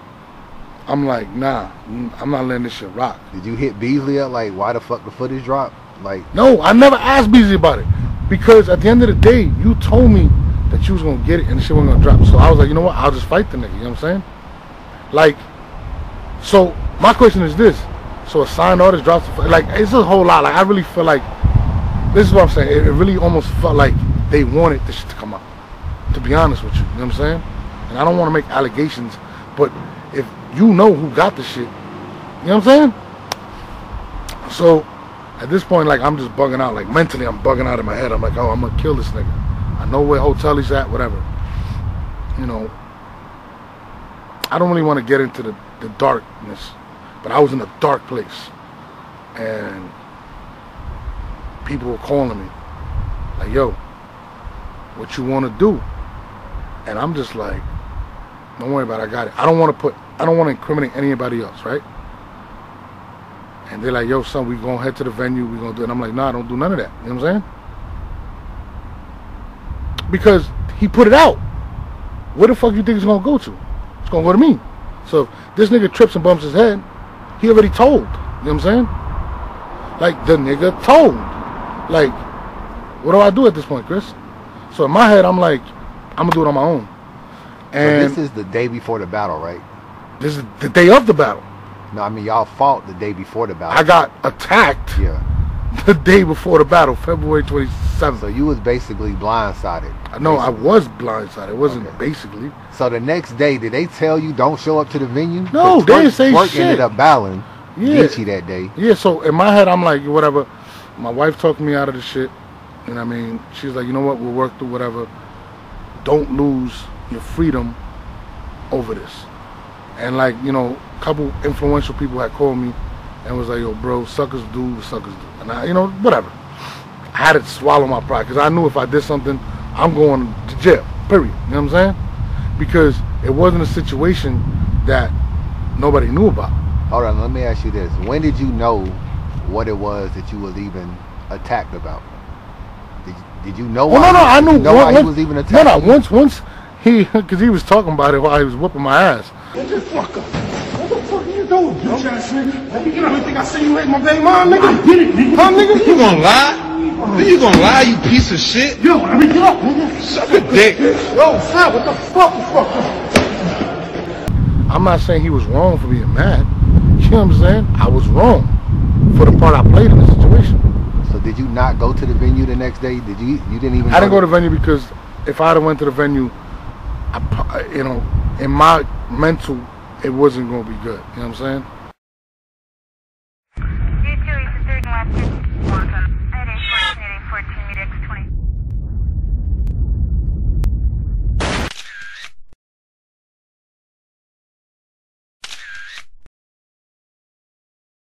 How is it possible that, or from your knowledge, how is it possible that you don't make any money off of Summer Madness 2? From what I, from my understanding was, the investor that put up the money got his money back, and it was more about building the brand at this point. This is what I was told, like you know what I'm saying. And again, like I believed it because I don't believe someone that I genuinely love, and I thought love, you know, thinks love feels the same about me, would lie to me. So again, I don't know. I believed them because Summer Madness 2, we actually, I remember me and Smack walking out of Summer Madness 2, right? And me and Smack looking at each other. And I remember this shit because it hurt me to hear him say this shit. And he was like, man, Sean, like, cause I'm like, yo, we made any brand, nigga? Like, cause Summer Madness 2, you thinking, bro, this shit was wall to wall. Lloyd Banks couldn't get in. Nobody could get in. Shit's sold out. But we ain't walking with no money. So I, so I was told. But I, I believed Smack at Summer Madness 2 because he really was like, he really pulled the shit out of his pocket. Like, yo, son, this is bullshit, son. And he was kind of like, the investor took all the bread and then he left us with nothing. You feel me? So I felt Smack's pain because I was like, damn, for real? Like, so we, I was like, yo, bro, we eat together, we starve together. That's how I looked at it. And that's why Summer of Madness 3 was affected by Summer Madness 2. And So, that's, so how how much how much of a role did Harry play? So like you gotta remember too, Summer Madness three was we ain't really had no bread. Like we had whatever sponsors we had. So if you look at the card, we had to scale it down for Summer Madness two because Summer Madness two was Mook, Solomon, Jones, Clips. You know what I'm saying? It was everybody. And then we went to what? So we took a giant step backwards, and it was mostly because of financial. Like these guys were charges, we couldn't get Mook back. Lux just had a performance of his life. You think Lux wants a battle for? I think we gave him like anywhere from four to seven thousand to battle Calicoe. You think Lux is gonna sit back and be like, "Yo, yeah, give me that back"? No, Lux wants because too what people don't realize is whoever leaked what Mook got. I think it was Mook. Mook said he got twenty five thousand for battle, right? If I'm not mistaken. Lux just had the biggest performance at that point in battle rap history. You think we was gonna be able to book, book Lux? I mean, if you don't, if you recall too, Lux and Hollow was the next battle because Hollow was the next star. We couldn't afford that. We was trying to. I, I negotiated with Hollow many a times with that situation. I tried to get it. You know, I had conversations with Hollow outside my crib, and I had to tell him like, "Yo, if they gonna give you that money, you W, go get it, because we clearly can't get it for you." So that's what I'm saying. Like people didn't really understand financially. We didn't have that backing. So when Harry came into the picture, you know, Harry is a legit millionaire. You know, and, and now you you you you equal our vision, right? I, I can see certain things. I'm I'm great at what I do. Beasley's great at what he does. You know, Smack is is now becoming kind of like a, a little star. You know, and now you equate that with money behind us. You can't stop us. I feel like Harry should have been an equal partner with all of us. I always felt that way. So basically, DNA brought Harry in. Yeah. Right. And Harry didn't want to keep losing money, so DNA convinced him to come over to uh, URL, and they worked on an agreement. Again, Beasley's the business guy. We always looked at it like that, so I always trusted in Beasley. Oh, what's the situation with Harry? All right, cool. I don't need to know anymore. You know what I'm saying? But I, you know, Harry was family. Harry came to my birthday party. He was there when I met my wife. You know what I'm saying? Like Harry to me was family, but I would never, you know, I, I just wasn't the guy to ask Harry for money because I knew Harry was putting up thousands. Now you say influence. The reason we started doing pay-per-views and the fans should thank is because of Harry. Because Harry was tired of losing money. And Harry came in and said, no, if you want this money, we're going to do pay-per-view. It's 100% facts. So when you want to talk influence, absolutely. Harry was the reason we did pay-per-view. And a lot of people don't know that. And a lot of people want to downplay Harry or, not not big him up for what he's done. You can give a nigga thank you shout out. Oh yeah, no, he's not a sponsor, bro. A sponsor wants that money. You know what I'm saying? Like sponsors, and you know what I mean? Like he didn't really gain nothing out of the situation. And um, you know, Harry was was was was was, was very influential in, in getting the pay per views. He owns WatchBattleLive.com. That's his shit. He created it. He went and bought the service. He did all of that shit. Wasn't smack. It's the facts. You know what I'm saying? So when people think about battle rap and they talk about the Mount Rushmore, you better put that Indian motherfucker there. Because he is probably the most or one of the most important pieces in battle rap. And a lot of people may know about it behind the scenes or they never speak on it, and it's the truth.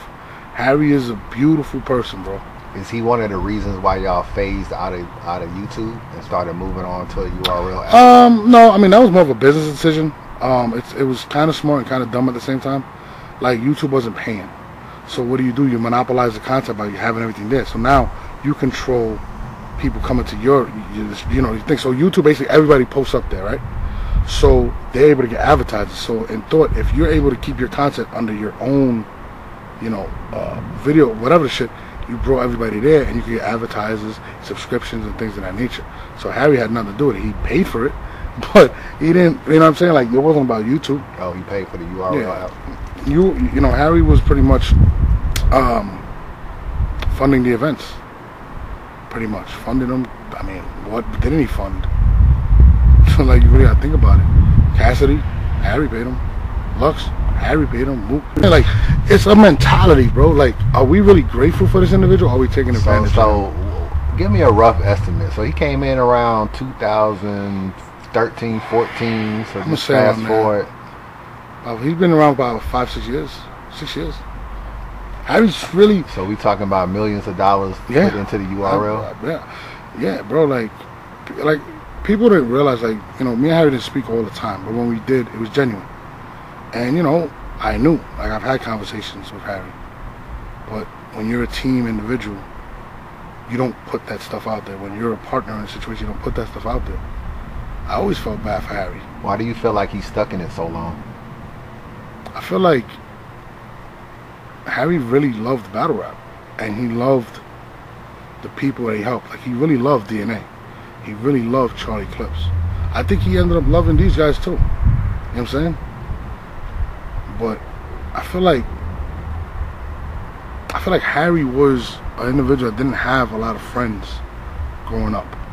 Or again, this is all, you know, me just guessing. Um, I feel like Harry, a lot of people were his friend because he could help them. You know what I'm saying? And I, you know, I think that's what it was. Uh, you haven't heard nothing about Harry in how long? Is that a coincidence? Last time I heard anything about Harry was when they actually I guess, announced the caffeine deal. They thanked Harry. Harry was shelling out hundreds of thousands of dollars. Like you gotta understand, like Capone cigarellos and exclusive vodka, they weren't putting up as much as Harry. Behind the scenes, Harry was putting up ridiculous amounts of money. You know what I'm saying? And I knew Harry, but I wouldn't take money from Harry. I never asked Harry for money for an event, for PG. This was coming out of my pockets. On Legacy, my pockets. You know what I'm saying? Harry was putting up so much money, and I really feel like, and this is just being real, I felt like the only reason they were his friend was because of the money.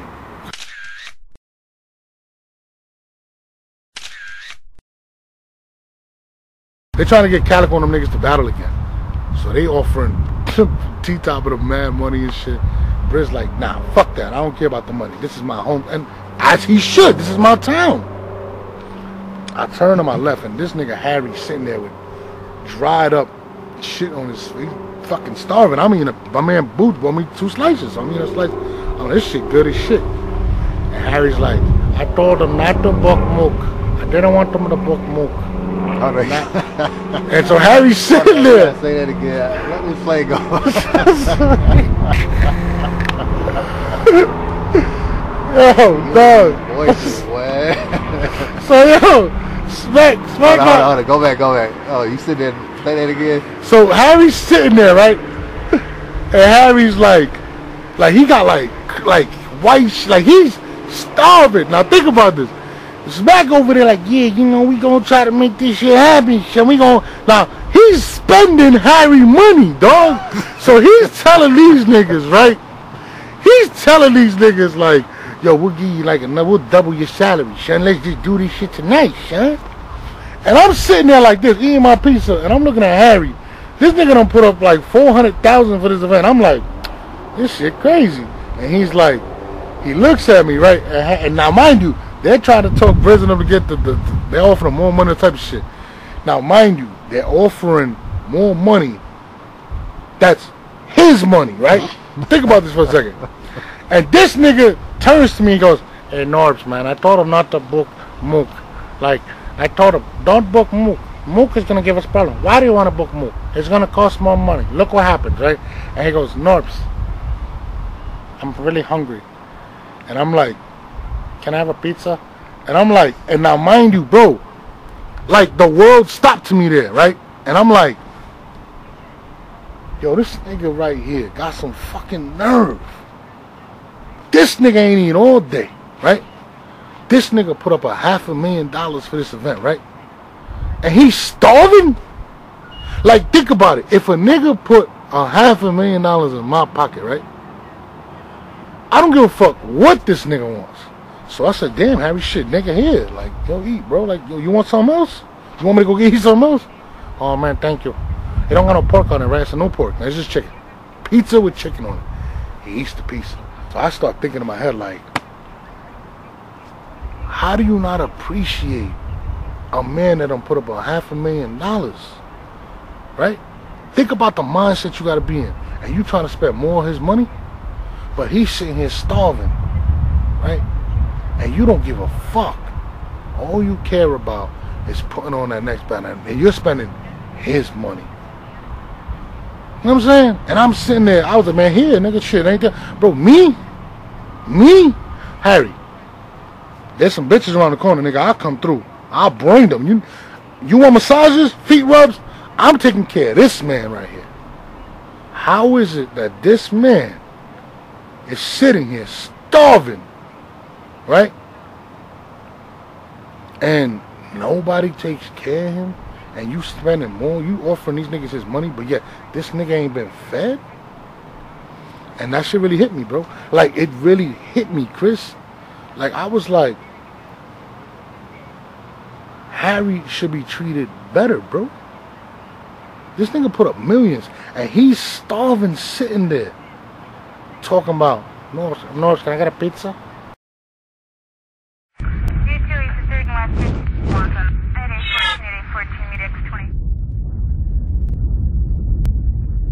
Let's switch gears real quick. Yeah. Tell me about y'all last conversation. I mean, it was April 28th. Um, Beasley calls me. This is after all that bullshit went down. And again, like we was already like I was I was already like fed up. So when he called me, and Beasley called me, and uh, this is after numerous times trying to call him like, yo, bro, I'm about to launch because I was launching this uh, Only the Strong series, and he's like, yo, everybody's on. Now, mind you, I don't fuck with Chico, so I already knew what time it was. And at this point, like I'm kind of like in my head, like, bro, like I'm reluctantly working in a sense. So, you know, they came and you know all these, you know, and Beasley's doing most of the talking because he already knows that me and Chico don't rock and smack out about four words that he can really say. Um, and you know, due to all this stuff and the new situations that we signed, and you know, we're- we're considering that maybe we should part ways. So when I heard that, I never knew how I was gonna react to the situation because I knew it was coming anyway. Like it was just building for time. So they give me that whole shit, and I was just like, "You guys done?"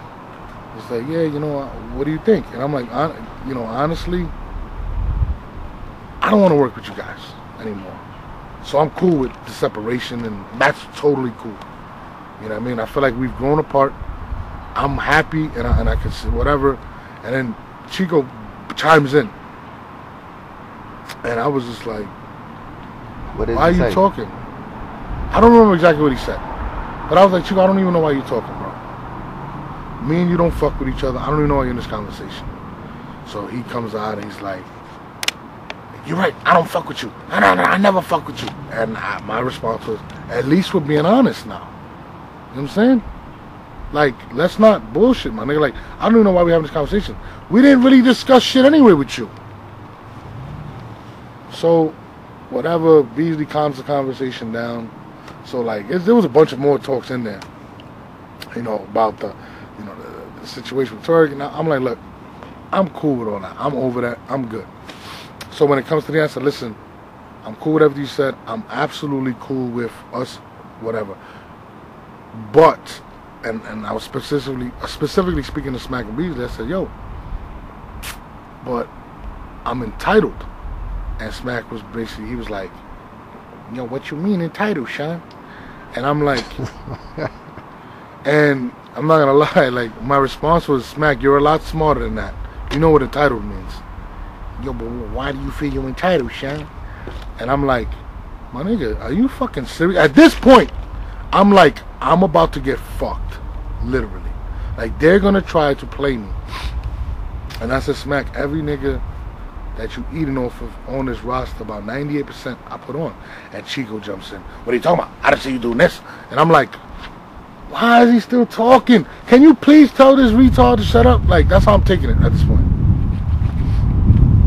And I start naming names. I'm literally, bro, like, I could stay all day naming people. And he's like, you ain't find Gotti? No, man, Norbs, man, came to Cali.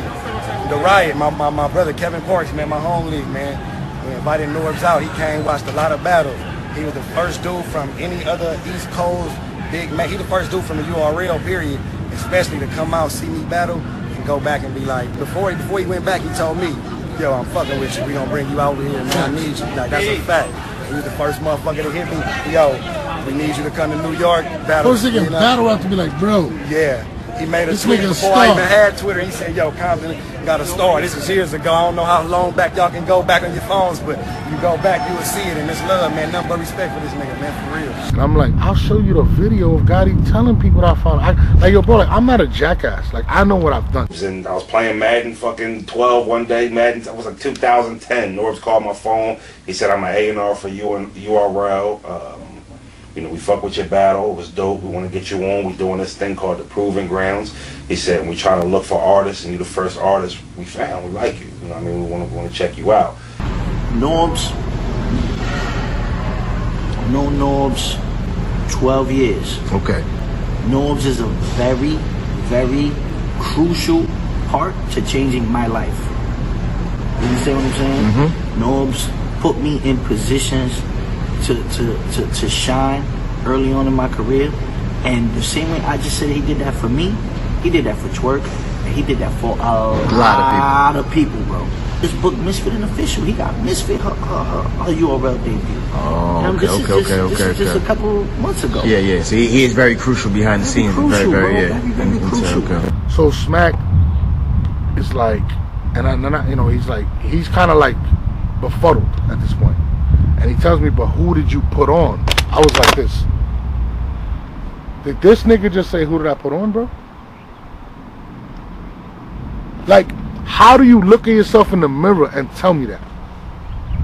Money, I almost got shot in fucking Detroit on Joy Road recruiting, all types of shit, bro. So don't tell me that shit, bro. So at this point, I was kind of like, my, my the wheels started turning in my head. So he goes, all right, all right, everybody chill, everybody chill. And he goes, all right, yo, I'm gonna get back to you. And I said, what you gonna get back to me on Smack? He goes, yo, we, we gonna come up with a number and we gonna figure it out, Sean. I said, all right, cool. You come up with a number? All right, cool.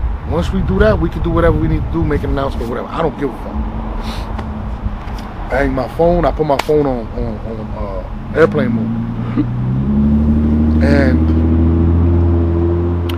something told me to turn my phone back on. And when I turned my phone back on, it's April 28th. It's around 4:30 or something like that. I get like a hundred text messages. They're like, "Yo, keep your head up, keep your head up, keep your head up, keep." And I'm like, "The fuck?" So I text back. I say, "What are y'all talking about?" I just had a conversation with these niggas, and my my little bro Matt was like, he sends me the the resolution letter, uh, the dissolvement letter. I read this shit. I said, "Ain't this a bitch?" And I just started thinking to myself, like, these motherfuckers. Like, I didn't get an offer, bro. Right? He felt like he shouldn't have paid me anything. So I'm sitting there like, I didn't agree for this letter. You feel me? One. I'm a fucking partner. You're not treating me like one. You feel me? I'm trying to keep it cool. I'm cool with leaving Chris at this point. I'm cool. But I say, yo, you gotta buy me out. Period. I'm not gonna make nothing public. And you drop a public statement on me without my consent. Right? Now everybody's killing me everywhere. So I'm sitting back like this. I'm getting killed, killed. Hey, what if URL would have uh, fired Norbs in a trailer? Ten years ago, we were united as one. He traveled all over the world to find scouts for the URL TV. But years later, things transpired. A baby mama was contacted, and you can't copy the pussy. So tune in April 28th as we fire Street Star Norbs. URL TV. You can't copy respect. You're fired. Get the fuck out of here. I am Beasley. I get a text from Beasley about 15 minutes later. Yo, bro, we gonna fix everything. Just give me the Wednesday, we gonna take care of it. I say, yo, Bees, text him back. Y'all owe me, you know, whatever. But I also put out another like 30,000 for of events that are about to come up. So y'all gonna, y'all finna pay me back for that too. Right? April 28th. Two weeks later, my grandmother, I think like two, three weeks later, my grandmother dies from the COVID. So I'm going through the COVID. I'm going through mad shit right now. Grandmother's on the respirator. I get a text from Beasley like my condolences. I look at the shit. I don't even respond.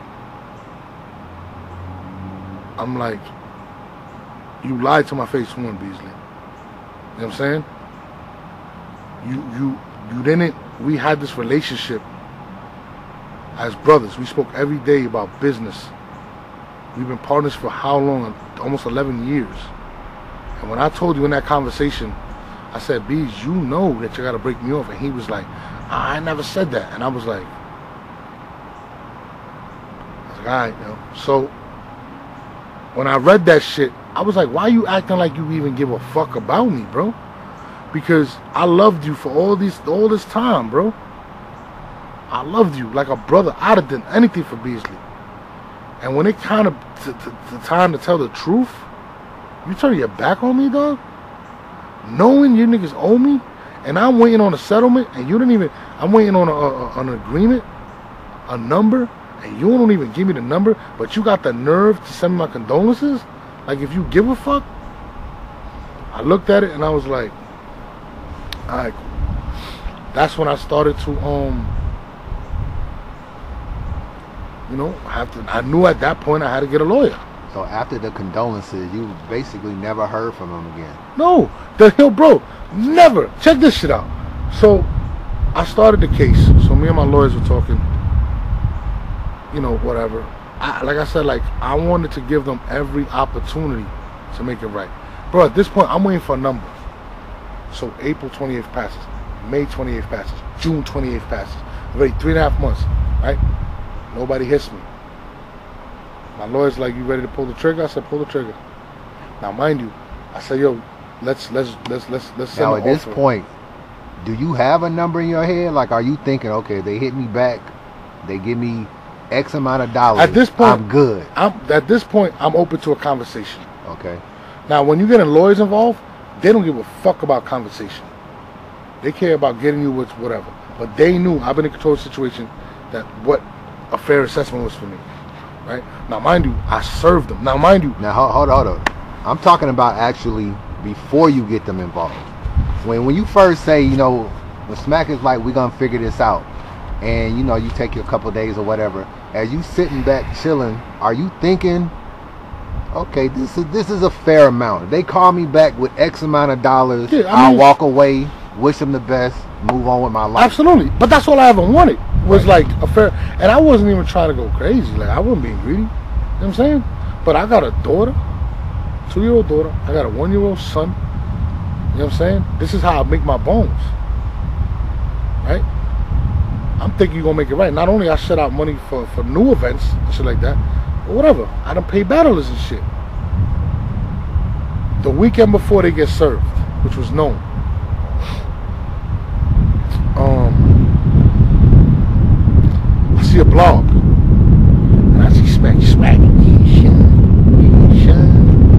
Nah, it's just been business, son. That's my brother.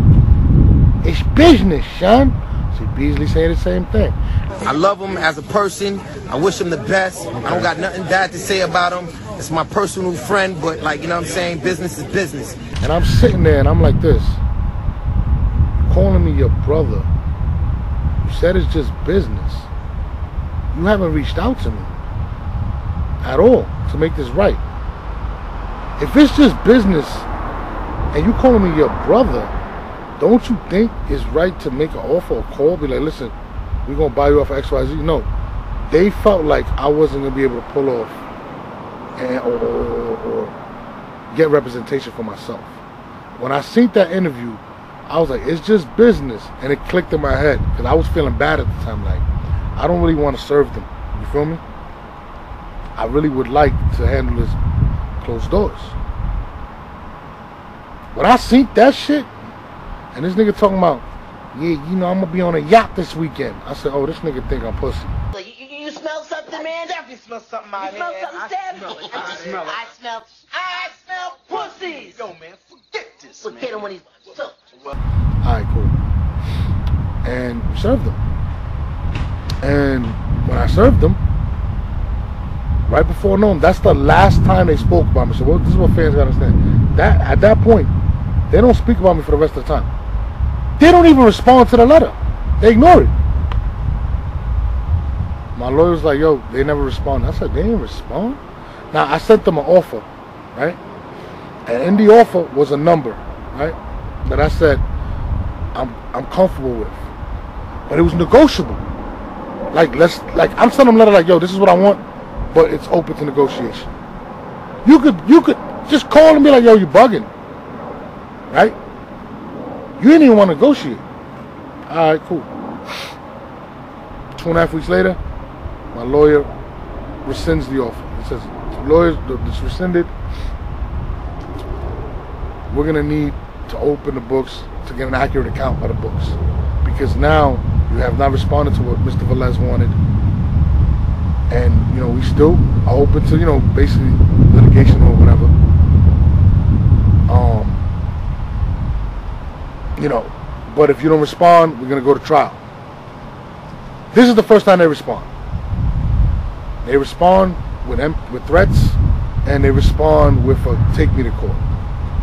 So that is one, two, three, three letters before I file. So on my birthday, I told my lawyers I wanted to file on my birthday because every year on my birthday I want to do something dope.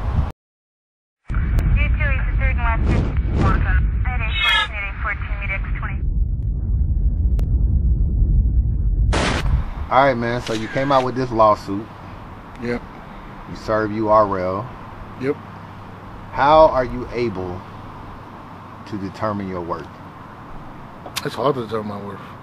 Um, I mean, because when you put a number on a on a particular lawsuit, then somehow, some way, you, you come to, you tend to think that maybe you value yourself a certain way, or, or how, how how are you able to come to a number and and determine your worth?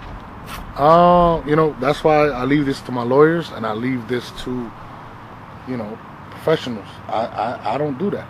A lot of lawsuits end in settlements. Do you have a dollar amount in your head? I I, know you're not gonna say it on camera, and I'm not No, gonna even. I ask want- I want what I'm But in your, to. in your mind, are you like, you know what? Maybe the 40 million, I'm tripping.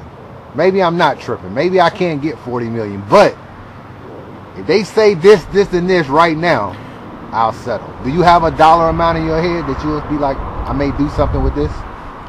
Everything I said in there is what I want. So, with all the criticism you got, maybe the lack of support, maybe you know falling out with Nunu, falling out with P, falling out with Chico, relationship dissolving with Smack. What made you stick in there all this time? First of all, I didn't care about falling out with Nunu, nor P, none of that shit. What I really cared about was what I built from scratch, brick by brick, with my brothers and my partners, and knowing where it was going to go and being there when it's there, when it finally gets there, and seeing where it's going to go.